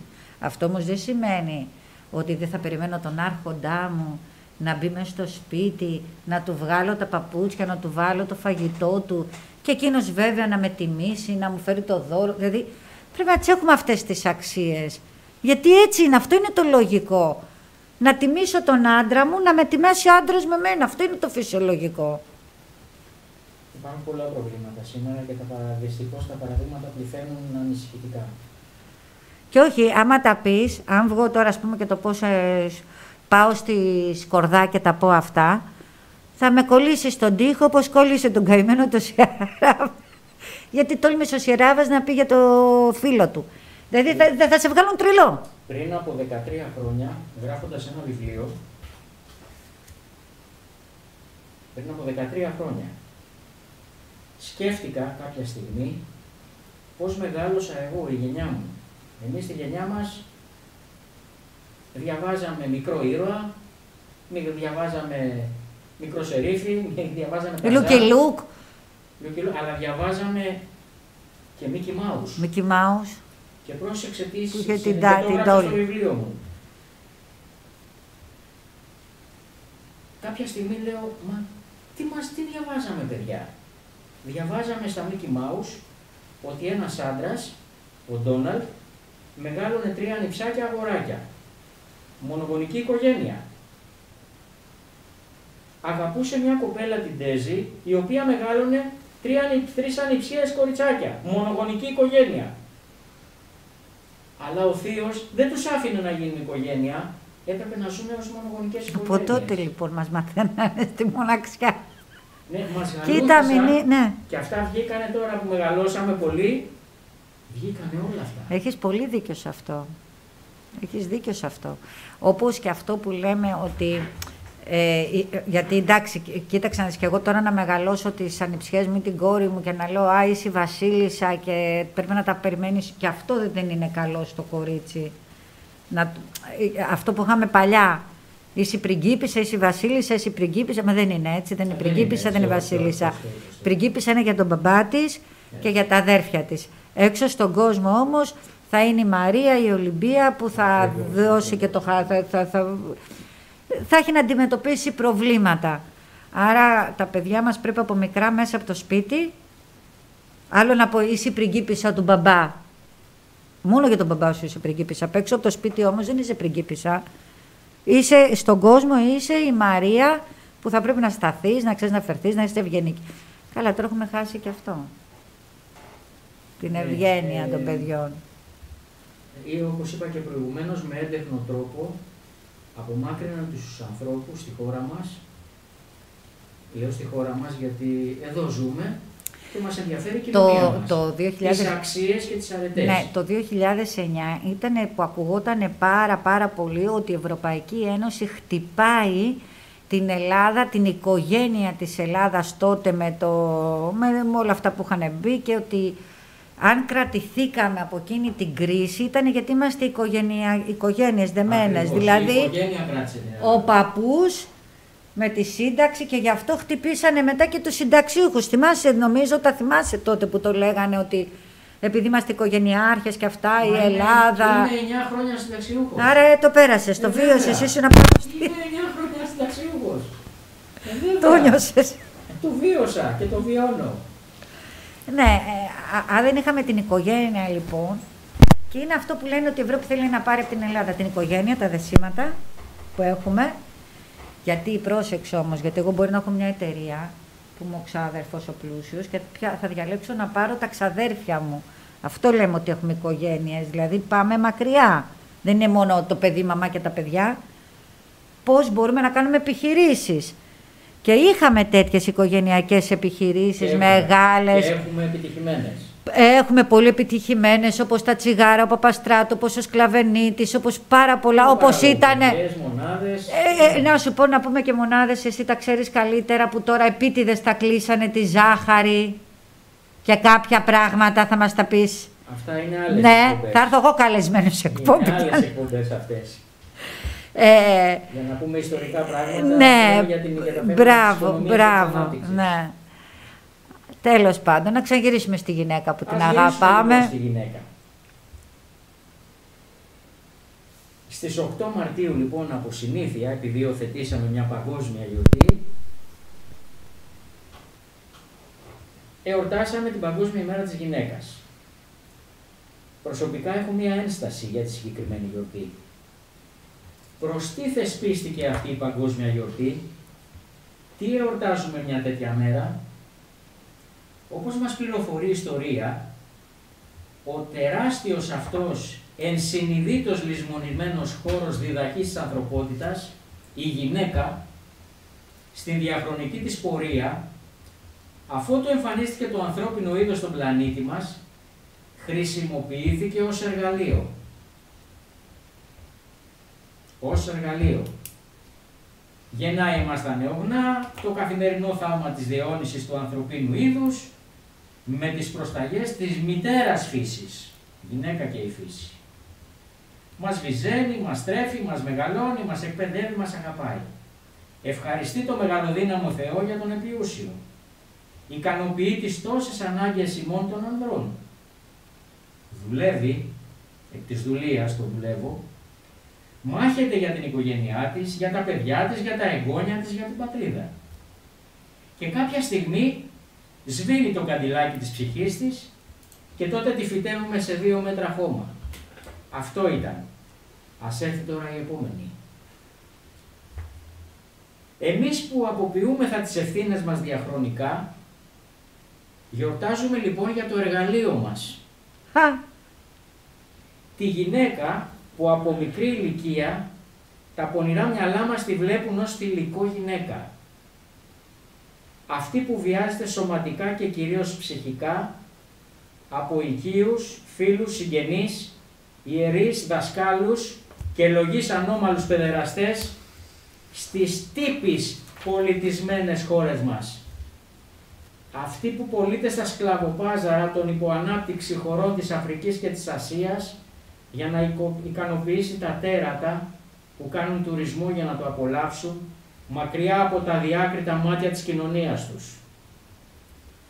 Αυτή που δουλεύει νυχθημερών στα εργοστάσια της Ανατολής, από την Ανατολή μέχρι τη δύση του ηλίου, που ουδέποτε δακρύζει ως δούλα, έναντι ενός πιάτου αμφιβόλου ποιότητας φαγητού. Αυτή που βιώνει με τρόμο τις ζωφερές εις βάρος της πράξης και σκέψεις που την πολιορκούν ανήμπορη να αντιδράσει όταν έχει την ατυχία να ανήκει στην κατηγορία ατόμων με ειδικές ανάγκες. Αυτή που αντικρίζει το θάνατό της και αυτών των οικείων της στους αμέτρητους πολέμους, στον βωμό της εξουσίας, της δύναμης και του κέρδους. Η ορφανή που καλείται ενίοτε να σηκώσει στους αδύνατους ώμους της τεράστια προσωπικά, οικογενειακά και κοινωνικά φορτία. Και κάποτε μεγαλώνει το εργαλείο και εξακολουθεί η χρήση του. Δεν αφήνουμε τίποτα ανεκμετάλλευτο από τη γυναίκα. Την θέλουμε ηθική, τίμια, δημιουργική, σκλάβα, καλή μητέρα, καλή υπάλληλο, καλή επιστήμονα, καλή σύζυγο, καλό στρατιώτη, αλλά και πόρνη, Βέβαια. δούλο, εμπορεύσιμο είδος. Πολύ καλά τα λες όμως, έτσι είναι. Συγγνώμη, ξέχασα. Να έχει και καλή πρίκα. Σωστός. Ναι, προχθές, έτσι είναι. Προχθές διάβασα ότι σε μια χώρα της Ασίας σκοτώσανε μια γυναίκα επειδή ο άντρας της θεώρησε ότι η πέκα τη δεν είναι ακριβή και τη σκότωσε χωρίς καμία σημασία. Άκου ρε φίλε. Ευχαριστώ. Την αφήσαμε μόνη της στη Σπάρτη όταν την πολιόρκησε ο Πύρος και αυτή έσκαψε μια ανοιχτή περιμετρική βαθιά τάφρο και έσωσε την πόλη και την οικογένειά της με τον ηρωισμό της. Μόνη στη Μάνη αντιμετώπισε και κατατρόπωσε τους Τουρκαλβανούς. Μόνη στο Ζάλογκο έδειξε το μεγαλείο της ψυχής της. Και πόσες άλλες φορές. Μόνη, παντού μόνη στους αγώνες. Αγωνίζεται και διεκδικεί το δίκαιο της. Ας θυμηθούμε πόσες γυναίκες βιάστηκαν και κατακρισμίστηκαν στον κρεμό στην Τεχεράνη το 1996. Πόθησε στα στρατόπεδα συγκέντρωσης των Ναζί, αλλά και τόσων άλλων επίδοξων ανεγκέφαλων κυρίαρχων ανά τους αιώνες στην Ιφίλιο. Πόσες γυναίκες πουλήθηκαν στους εμπόρους Λευκής Αρκός όταν κατέρευσε το Ανατολικό Μπλοκ και η πείνα θέριζε τους δύσμυρους εκείνους λαούς; Οι γυναίκες πουλήθηκαν, τα εργαλεία, όχι οι άντρες,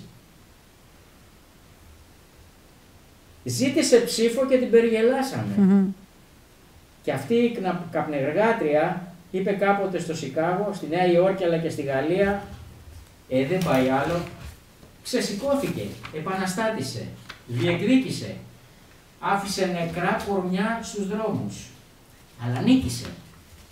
Ή μάλλον έτσι την αφήσαμε να πιστεύει, διότι κατά βάθος τη φοβόμαστε. Της δώσαμε δικαιώματα. Για παράδειγμα στην Ελλάδα δόθηκε ψήφος στη γυναίκα το 1954 και ο πολιτικός που το αποφάσισε εξελέγει πανψηφίδη ορατικόσον, πονηρός και έξυπνος. Ποιος ήτανε; Πρώτη ψηφίσασα η Μαρία Σκούρα στη Θεσσαλονίκη. Το 1959 η Λίνα Τσαλδάρη, επιτυχημένη υφυπουργός πρόνοιας. Υπάρχει σήμερα Υπουργείο Πρόνοιας. Ε, δεν νομίζω υπάρχει. Κι όμως εθισμένη ανά τους αιώνες σε ένα κόσμο ειδόλων, Σοκράτης, Πλάτων, Πλωτίνος, φυσική ανεφορίων σήμερα, είδωλα που εδείχθησαν και τα δικαιώματα που τις δώσαμε. Την κοροϊδέψαμε οι άθλοι, την εκμεταλλευόμαστε για να κάνουμε τη δουλειά μας. Αναλογικά με τους άντρες, ας σκεφτούμε πόσες γυναίκες λειτουργούν στα κοινοβούλια.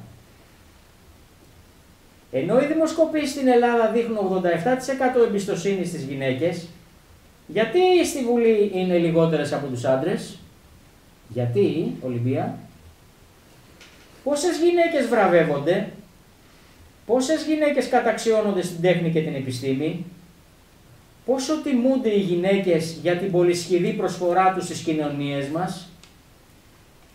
Δίκαια το 1964 ο Τζέμις Μπράουν τραγουδούσε με σκοπτικό ύφος «Αυτός είναι ένας ανδρικός κόσμος». Με σκοπτικό όμως ύφος. Έχει όμως σαν άνθρωπος και αυτή, σαν άνθρωπος και αυτή ένα ελάττωμα. Κολακεύεται εύκολα και άθελά της δεν σέβεται πολλές φορές τον, τον ίδιο της τον εαυτό. Είμαστε φιλάρεσκες. Και εμείς που το γνωρίζουμε, τη θυμόμαστε μόνο μία φορά το χρόνο για να την κοροϊδέψουμε, να την υπνοτίσουμε για ένα ολόκληρο χρόνο. Ώρες ώρες μου έρχεται στο μυαλό εκείνο το ανέκδοτο που έλεγε ότι ο Θεός έφτιαξε πρώτα τον άντρα διότι αρχικά ασχολήθηκε με τα πειράματα. Λέτε να αληθεύει.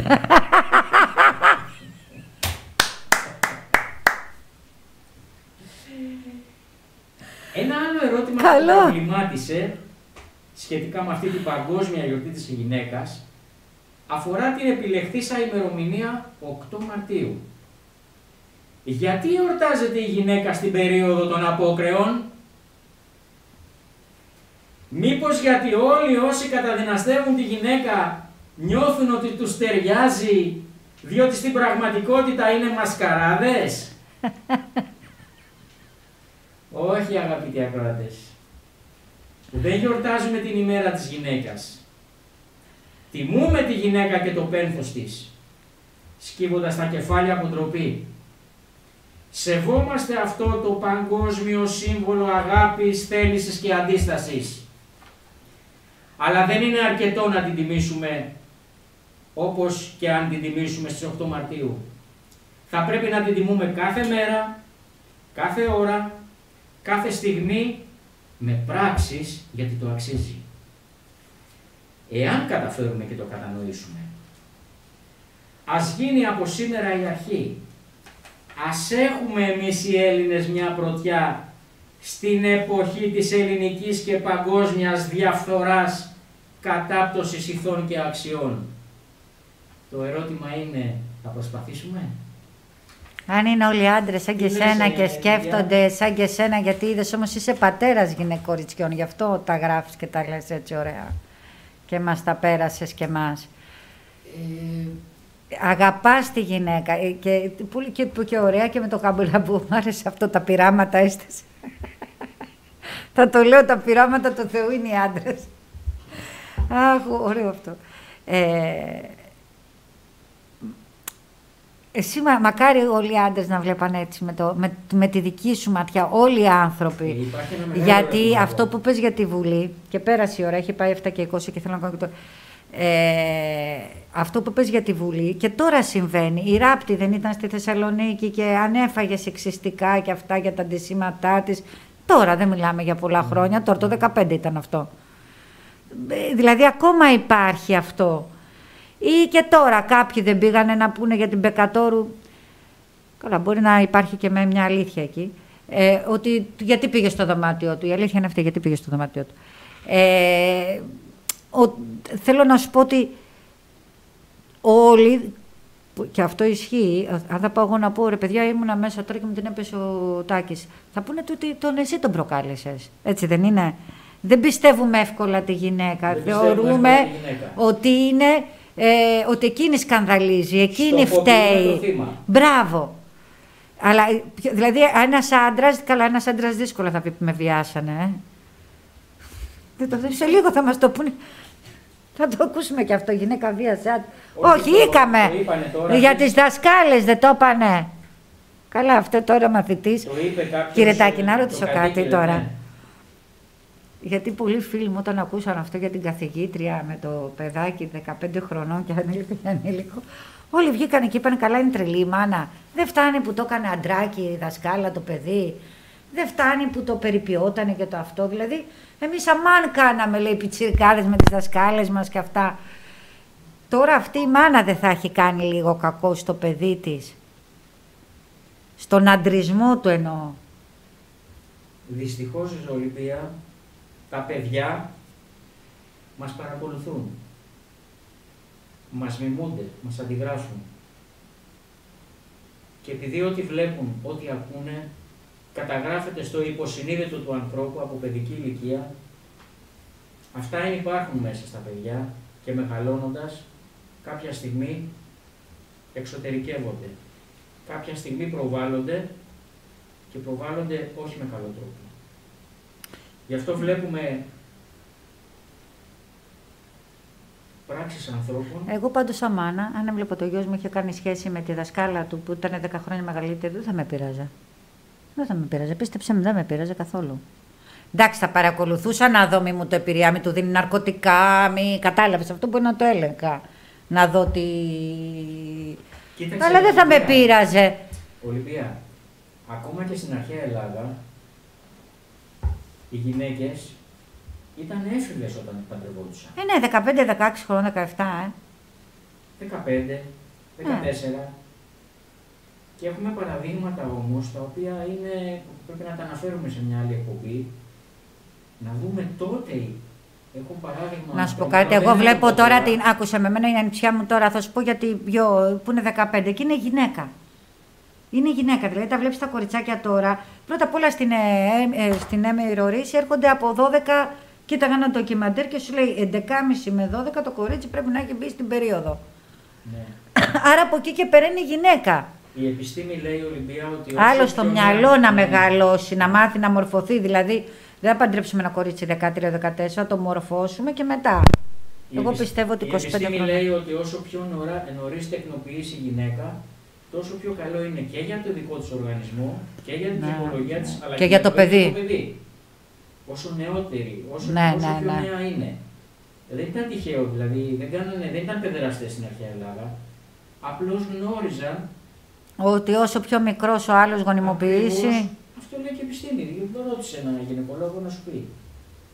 Όσο πιο νέα είναι η γυναίκα. Ρε, πιο... Κοίταξε τώρα, αυτό θα το πούμε σε εκπομπή ιατρική. Θα με καλέσεις ε, να σου κάνω εγώ τις ερωτήσεις. Όχι εμένα. Θα φέρω. Θα... Μπράβο. Ιστορικό, όχι γιατρό. Ναι, ε... θα φε... ναι, που να μας το πει αυτό τώρα. Ναι. Ειδικό, ειδικό. Ναι, να μας το συζητήσει αυτό. Εμείς δεν μπορούμε να το συζητήσουμε. Να σου πω, επειδή πέρασε, τι γίνεται; Εγώ θα πω ένα πολύ σημαντικό ένα αφιέρωμα στη γυναίκα η Ελληνίδα γυναίκα δημιουργός και διασώσεις του έθνους μας στους αιώνες και με την ελληνική δίαιτα. Το επέλεξα αυτό γιατί πραγματικά της αξίζει αυτή η μία για να μαθαίνουμε και οι σημερινές. Κάμε τάχη, γιατί... Όπως όλοι γνωρίζουμε, η τροφή αποτελεί την πλέον θεμελιώδη προϋπόθεση για τη φυσική ζωή του ανθρώπου, πρωτίστως για την επιβίωσή του, ομού και για τις όποιες καθημερινές δραστηριότητές του καθολικό κοινωνικό φαινόμενο την ονομάτισε κάποτε ο Γάλλος κοινωνιολόγος Μαρσέλ Μας. Επίσης είναι παράγον καθοριστικής σημασίας για την κοινωνική και την πολιτιστική του υπόσταση και δημιουργία, αλλά και μέσων επικοινωνίας με το περιβάλλον του, δηλαδή με τη μητέρα φύση. Και όλα αυτά για να εξασφαλίσει και την ποθητή αρμονία ψυχής και σώματος. Ναι. Ο πρωτόγονος άνθρωπος αναζήτησε την τροφή του ως συλλέκτης και ως κυνηγός με την εξανάγκης σε εξασφάλιση τροφής και ασφάλειας, δημιουργία των κοινωνικών ομάδων, οι ομάδες αυτές άρχισαν να οργανώνονται, να καλλιεργούν για να παράγουν τις πρώτες ύλες για την τροφή τους, να βελτιώνουν τα είδη της, να τη μορφοποιούν με συνδυασμούς υλικών και να τη συντηρούν. Και όλα αυτά με ευθύνη της γυναίκας κυρίως. Σταδιακά και μέσω της καθημερινής δημιουργικής εμπειρίας αναπτύχθηκαν κώδικες προσδιορισμού της λήψης της, ήθη και έθιμα, αντιλήψεις, προλήψεις, δυσιδαιμονίες σχετικά με την κατανάλωσή της, αλλά και μια εξάρτηση από μορφές οικονομικής υφής, από τεχνικές δυνατοτήτων, από παράγοντες κοινωνικής συμπεριφοράς, από θρησκευτικές πεπιθήσεις και από κατατόπους προκαταλήψεις.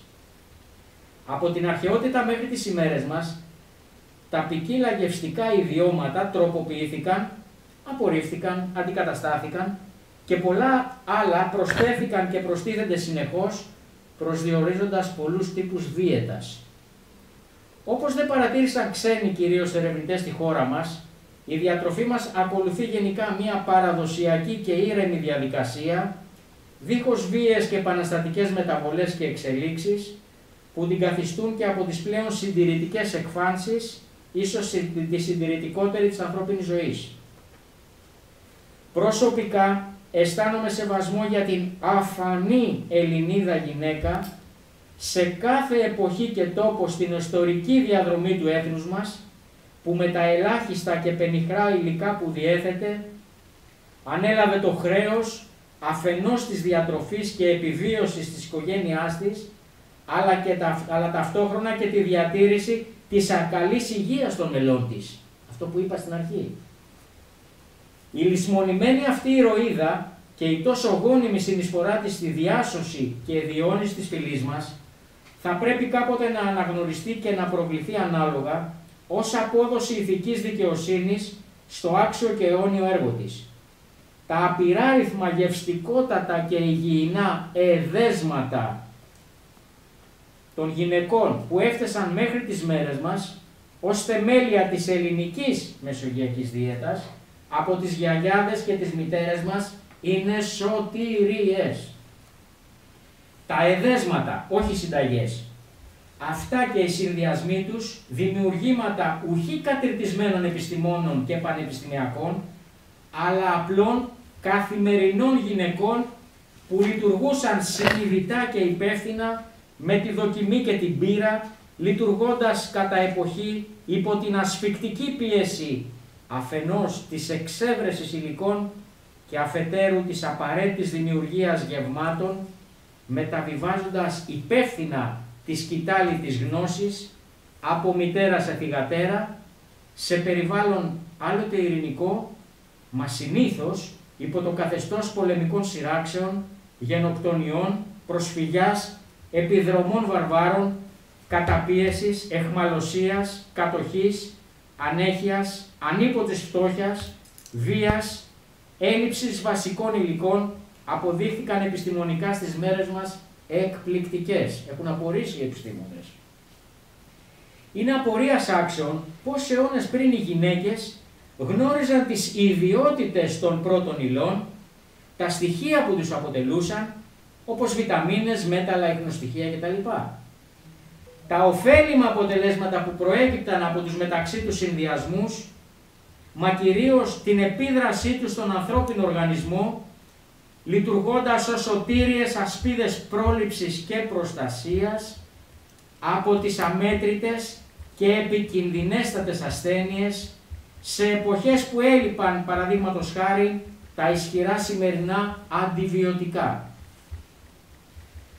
Τον Ιούνιο του 2011 στην πόλη της Κορώνης είχα την τιμή να συμμετάσχω στην επίσημη συνάντηση των εμβληματικών κοινοτήτων με τις χώρες Ιταλία, Ισπανία, Μαρόκο, Κύπρο και Ελλάδα για τη μεσογειακή διατροφή με αφορμή της την αποδοχή της από την UNESCO ως μέρος της άειλης πολιτιστικής κληρονομιάς του κόσμου που ήταν ιδέα και συνδρομή του Μανιατακίου Ιδρύματος όπου και άκουσα την καθηγήτρια προληπτικής ιατρικής και διατροφολογίας του Πανεπιστημίου Αθηνών, την κυρία Αντωνία Τρίχοπούλου, να ανακοινώνει αποτελέσματα επιστημονικών ερευνών της από την ελληνική ύπεθρο και τη διατροφή της ελληνικής οικογένειας που μας άφησαν άφωνους. Η κυρία Τριχοπούλου είναι η πρώτη που μίλησε από τη δεκαετία του 1980 για τη μεσογειακή διατροφή και τις ευεργετικές της επιδράσεις στη σωματική και πνευματική υγεία του ανθρώπου και στις 29 Οκτωβρίου 2011 ως Διευθύντρια του Συνεργαζόμενου Κέντρου Διατροφής του Παγκόσμιου Οργανισμού Υγείας στην Αθήνα τιμήθηκε με την ανώτατη διάκριση της Ευρωπαϊκής Ομοσπονδίας Διατροφικών Εταιριών, διάκριση η οποία απονέμεται ανά τετραετία σε επιστήμονες με ερευνητική συμβολή διεθνούς ε, ακτινοβολίας στον τομέα της διατροφής και της υγείας. Για παράδειγμα αναφέρω μια περίπτωση από το νησί της Σαντορίνης, όπου μία γιαγιά μαγειρεύοντας κάποια τοπική, κάποιο τοπικό έδεσμα, είπε στην κυρία Τριχοπούλου ότι τη συνοδεύει απαραίτητα με σάλτσα κάπαρης. Το γευστικό αποτέλεσμα ήταν εξαίσιο. Όταν όμως η κυρία Τριχοπούλου και η επιστημονική της ομάδα επέστρεψαν στην Αθήνα και ανέλησαν τα υλικά της σάλτσας κάπαρης, παρατήρησαν έκπληκτη ότι η κάπαρη περιέχει ουσίες που είναι ένα τεράστιο όπλο για την πρόληψη από τον καρκίνο, ε, αφού περιέχουν περισσότερες από κάθε άλλη τροφή αντικαρκινικές ουσίες. Ε, Όπως μας πληροφόρησε η καθηγήτρια, οι αναλύσεις που πραγματοποιούν χρόνια τώρα στα υλικά των ελληνικών παραδοσιακών εδεσμάτων είναι τεράστιας επιστημονικής αξίας ως εδέσματα πρόληψης και διατήρησης της καλής υγείας των Ελλήνων.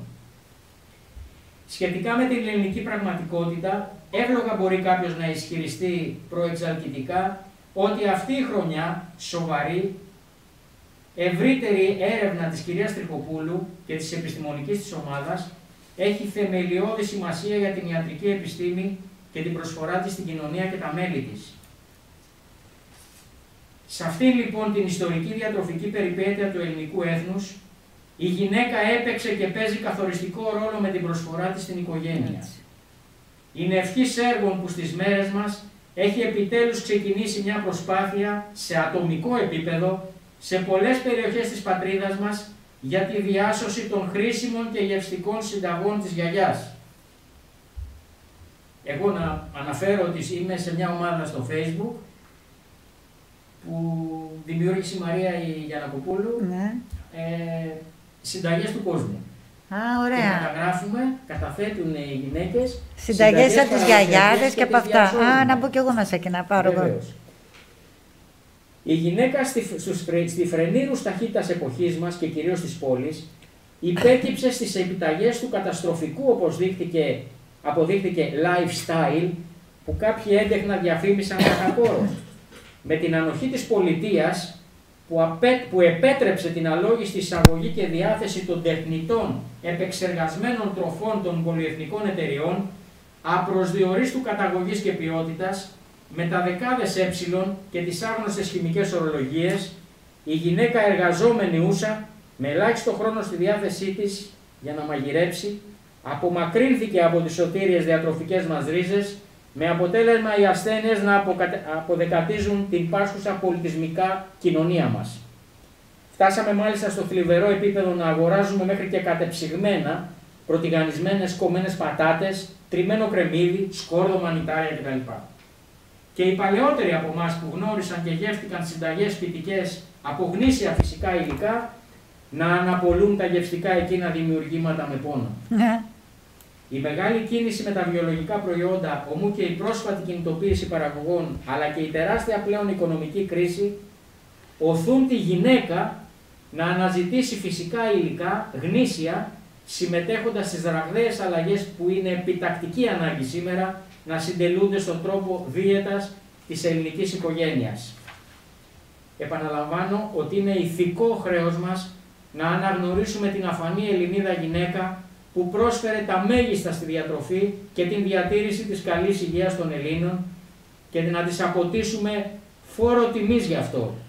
Διότι μια τέτοια κίνηση θα παραδειγματίσει και τις νεότερες γυναίκες που είναι ικανές να επιστρέψουν στις διατροφικές μας ρίζες. Τιμή λοιπόν στην αφανή Ελληνίδα γυναίκα. Τιμή λοιπόν και στον κύριο Τάκη Ιωαννίδη που είσαι πραγματικά πηγή γνώσης. Είσαι, ε, ευχα... Δηλαδή είναι ευχαρίστηση κανείς να κάνει μαζί σου διάλογο και να μαθαίνει, να μαθαίνει, να μαθαίνει χιλιάδες πράγματα. Μόνο τη γνωρίζω. Εγώ βλέπω ότι... Ναι, εντάξει. Η γνώση είναι τεράστια. Ναι, μεταφέρεις, τα θυμάσαι. Ενώ εγώ δεν θυμάμαι. εγώ θέλω να σου διηγηθώ κάτι και είδες, κολλάω σε πράγματα. Δεν τα θυμάμαι. Μπορεί να θυμάμαι το ιστορικό, αλλά κολλάω σε ονόματα, κολλάω σε τέτοια. Ενώ εσύ μας τα μεταφέρεις και ωραία. Δεν είναι μόνο ε, το τι διαβάζεις, είναι και πώς τα αποστηθίζεις και πώς ξέρεις να τα μεταφέρεις. Και εσύ έχεις αυτό, μας τα μεταφέρεις ωραία. Τάκη, ε, θέλω να σε χιλιοευχαριστήσω που ήσουν εδώ μαζί μας, που μας τίμησες και που μας δείχνεις πώς μας αγαπάς εμάς τις γυναίκες. Τώρα το λέω αυτό, το ευχαριστώ, εκπροσωπώ όλες τις γυναίκες και σου λέω ευχαριστώ. Ε, τα πείματά σου, δηλαδή είναι ύμνη, ύμνη για τη γυναίκα. Όπως έγραψες ένα ύμνο για την Κρήτη, που είναι γυναίκα και η Κρήτη. Γυναίκα και η Κρήτη. για και τα χανιά. Όχι τα χανιά. Ναι.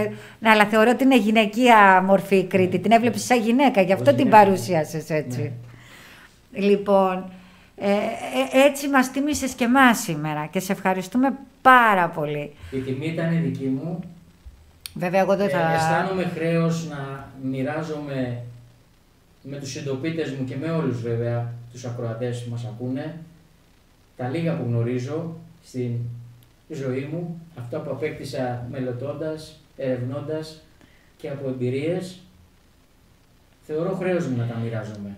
Ε, μα γι' αυτό και γι' αυτό θα είσαι και εδώ και θα μας τα μεταφέρεις. Δεν ξέρω τι, πώς θα το... Αλλά πρέπει αυτά όλα να, μας τα, να έχεις δικό σου χρόνο που να καθόμαστε να σε παρακολουθούμε και να μας μεταφέρεις όλα αυτά που ξέρεις. Είπα, εγώ είμαι ένας μικρός και ασήμαντος άνθρωπος. Ε, εντάξει, από... Λοιπόν, τους, από... πολλοί άνθρωποι. Ναι, και από ένα μυρμηγκάκι μαθαίνεις, αφού θεωρείς τον εαυτό σου μυρμηγκάκι. Ποιος είναι, ποιος Εμείς είναι... μαθαίνουμε και από τα μυρμηγκάκια, αφού ε, θεωρείς. Ποιος είναι ο πιο μεγάλος δάσκαλος στη φύση; Το έμαθα προσφάτως. Το Μυρμήγκι που είναι και στρατηγός, ο Τζίτζι. Γιατί; Είναι το, το Μυρμήγκι είναι γιατί. γιατί; έχει στρατηγική. Όχι, γιατί διδάσκει χωρίς να μιλάει. Ναι, το καλό μου. Διδάσκει χωρίς να μιλάει. Και λέει, ε, ε, ε, εμένα μου έχουν πει και στρατιωτικοί και τέτοια, τη στρατηγική έχουν μάθει από, τις, ε, από τα μυρμήγκια, από τις μέλισσες που έχουν στρατηγική. Θέλω να σε ευχαριστήσω γιατί θέλω να συνεχίσω με το διαγωνισμό. Βέβαιως, Μεγάλη μου τιμή, βέβαια δεν λέω αντίο γιατί σε 10 μέρες, 24 του μήνα, μου κάνεις την τιμή και έρχεσαι να παρουσιάσεις τον ιστορικό τον κύριο Σκλαβούνο και μου κάνετε την τιμή και ερχόσαστε και οι δύο εδώ. Και θα μιλήσουμε, θα μιλήσουμε και θα πούμε αλήθειες που δεν λέγονται. Εγώ παιδιά εκείνη την ημέρα άλλο από το καλησπέρα και ότι θα κάνω την οικοδέσποινα που τους δέχομαι στο σπίτι μου, από εκεί και πέρα εσύ θα έχεις το λόγο και ο κύριος Κλαβούνας. Μαζί, μαζί, Εγώ μαζί. θα είμαι το οικοδέσποινα. Ευχαριστώ πάρα Εντάξει. πολύ. Ευχαριστώ. Σε ευχαριστώ πολύ πολύ και ανανεώνουμε το ραντεβού μας για 24 Okay. Μαρτίου με τον κύριο Γιώργο Σκλαβούνο. Ευχαριστώ. Να είσαι καλά. Κάτσε να βάλω λίγη μουσική μέχρι να φύγεις.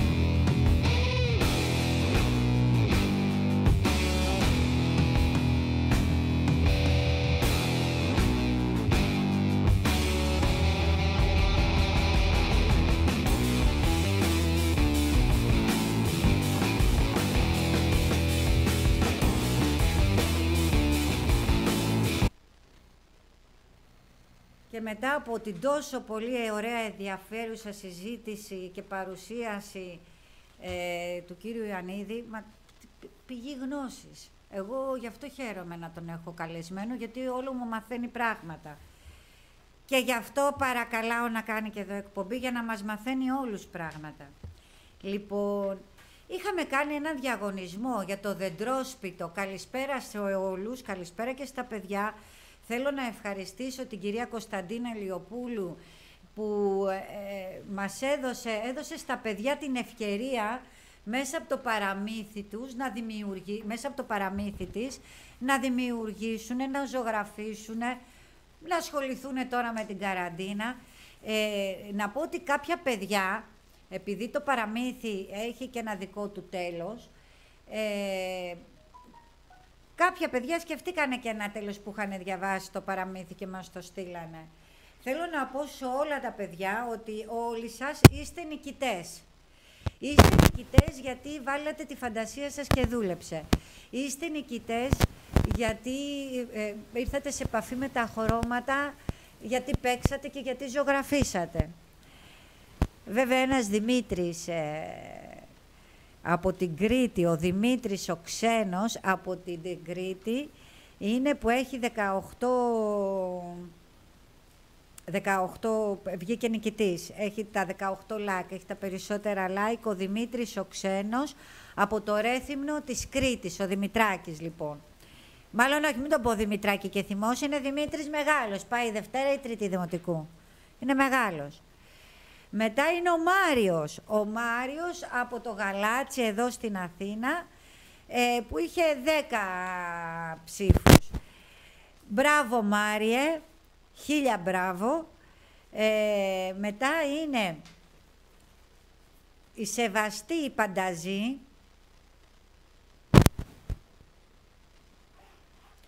με 11 ψήφους, η Σεβαστή η Πανταζή από Ινούσες, μετά από τη Σεβαστή... Μάλλον όχι, πριν... κάτσε, κάτσε, κάτσε, κάτσε να τα πάω με τη σειρά. Ο Δημήτρης ο Ξένος έχει 18. Η, η Λιδία, ε, η, η, η Λιδία Δήμητρα, η Λιδία μάλλον, 12 η Λιδία. Και 12 η Εύη Λαουτά.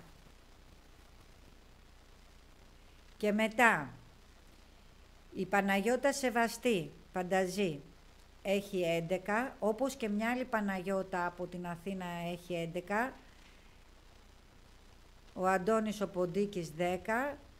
Α, όχι, και ο Σίμος έχει. Λοιπόν, πρώτος είναι ο Δημήτρης με 18.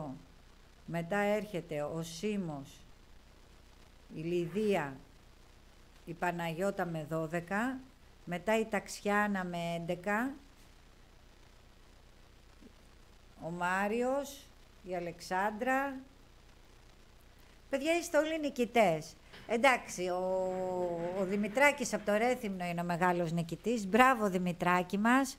Βέβαια όλα τα παιδιά θα παραλάβετε σε e-book το παραμύθι γιατί συμμετείχατε και η κυρία Ηλιοπούλου αποφάσισε ότι να σας το στείλουμε όλους σε μήνυμα ηλεκτρονικά ώστε να το διαβάσετε όλοι γιατί έχει και ένα ωραίο τέλος που μπορούμε εμείς αυτό το τέλος να το αλλάξουμε και να το κάνουμε όπως θέλουμε εμείς.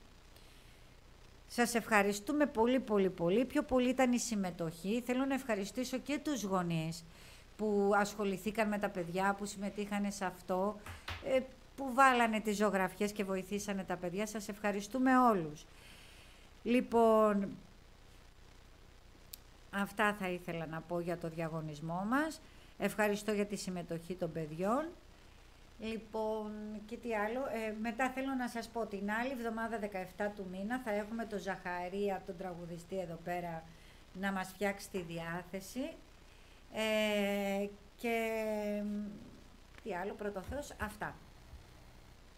Δεν έχω κάτι άλλο να ανακοινώσω. Σας αγαπώ πολύ, σας ευχαριστώ πολύ. Και στο επανειδήν πρωτοθέως την άλλη Τετάρτη να έχουμε την υγεία μας, γιατί ποτέ δεν ξέρεις τι ξημερώνει. Για να βάλουμε και λίγη μουσικούλα για να κλείσουμε ωραία και καλά.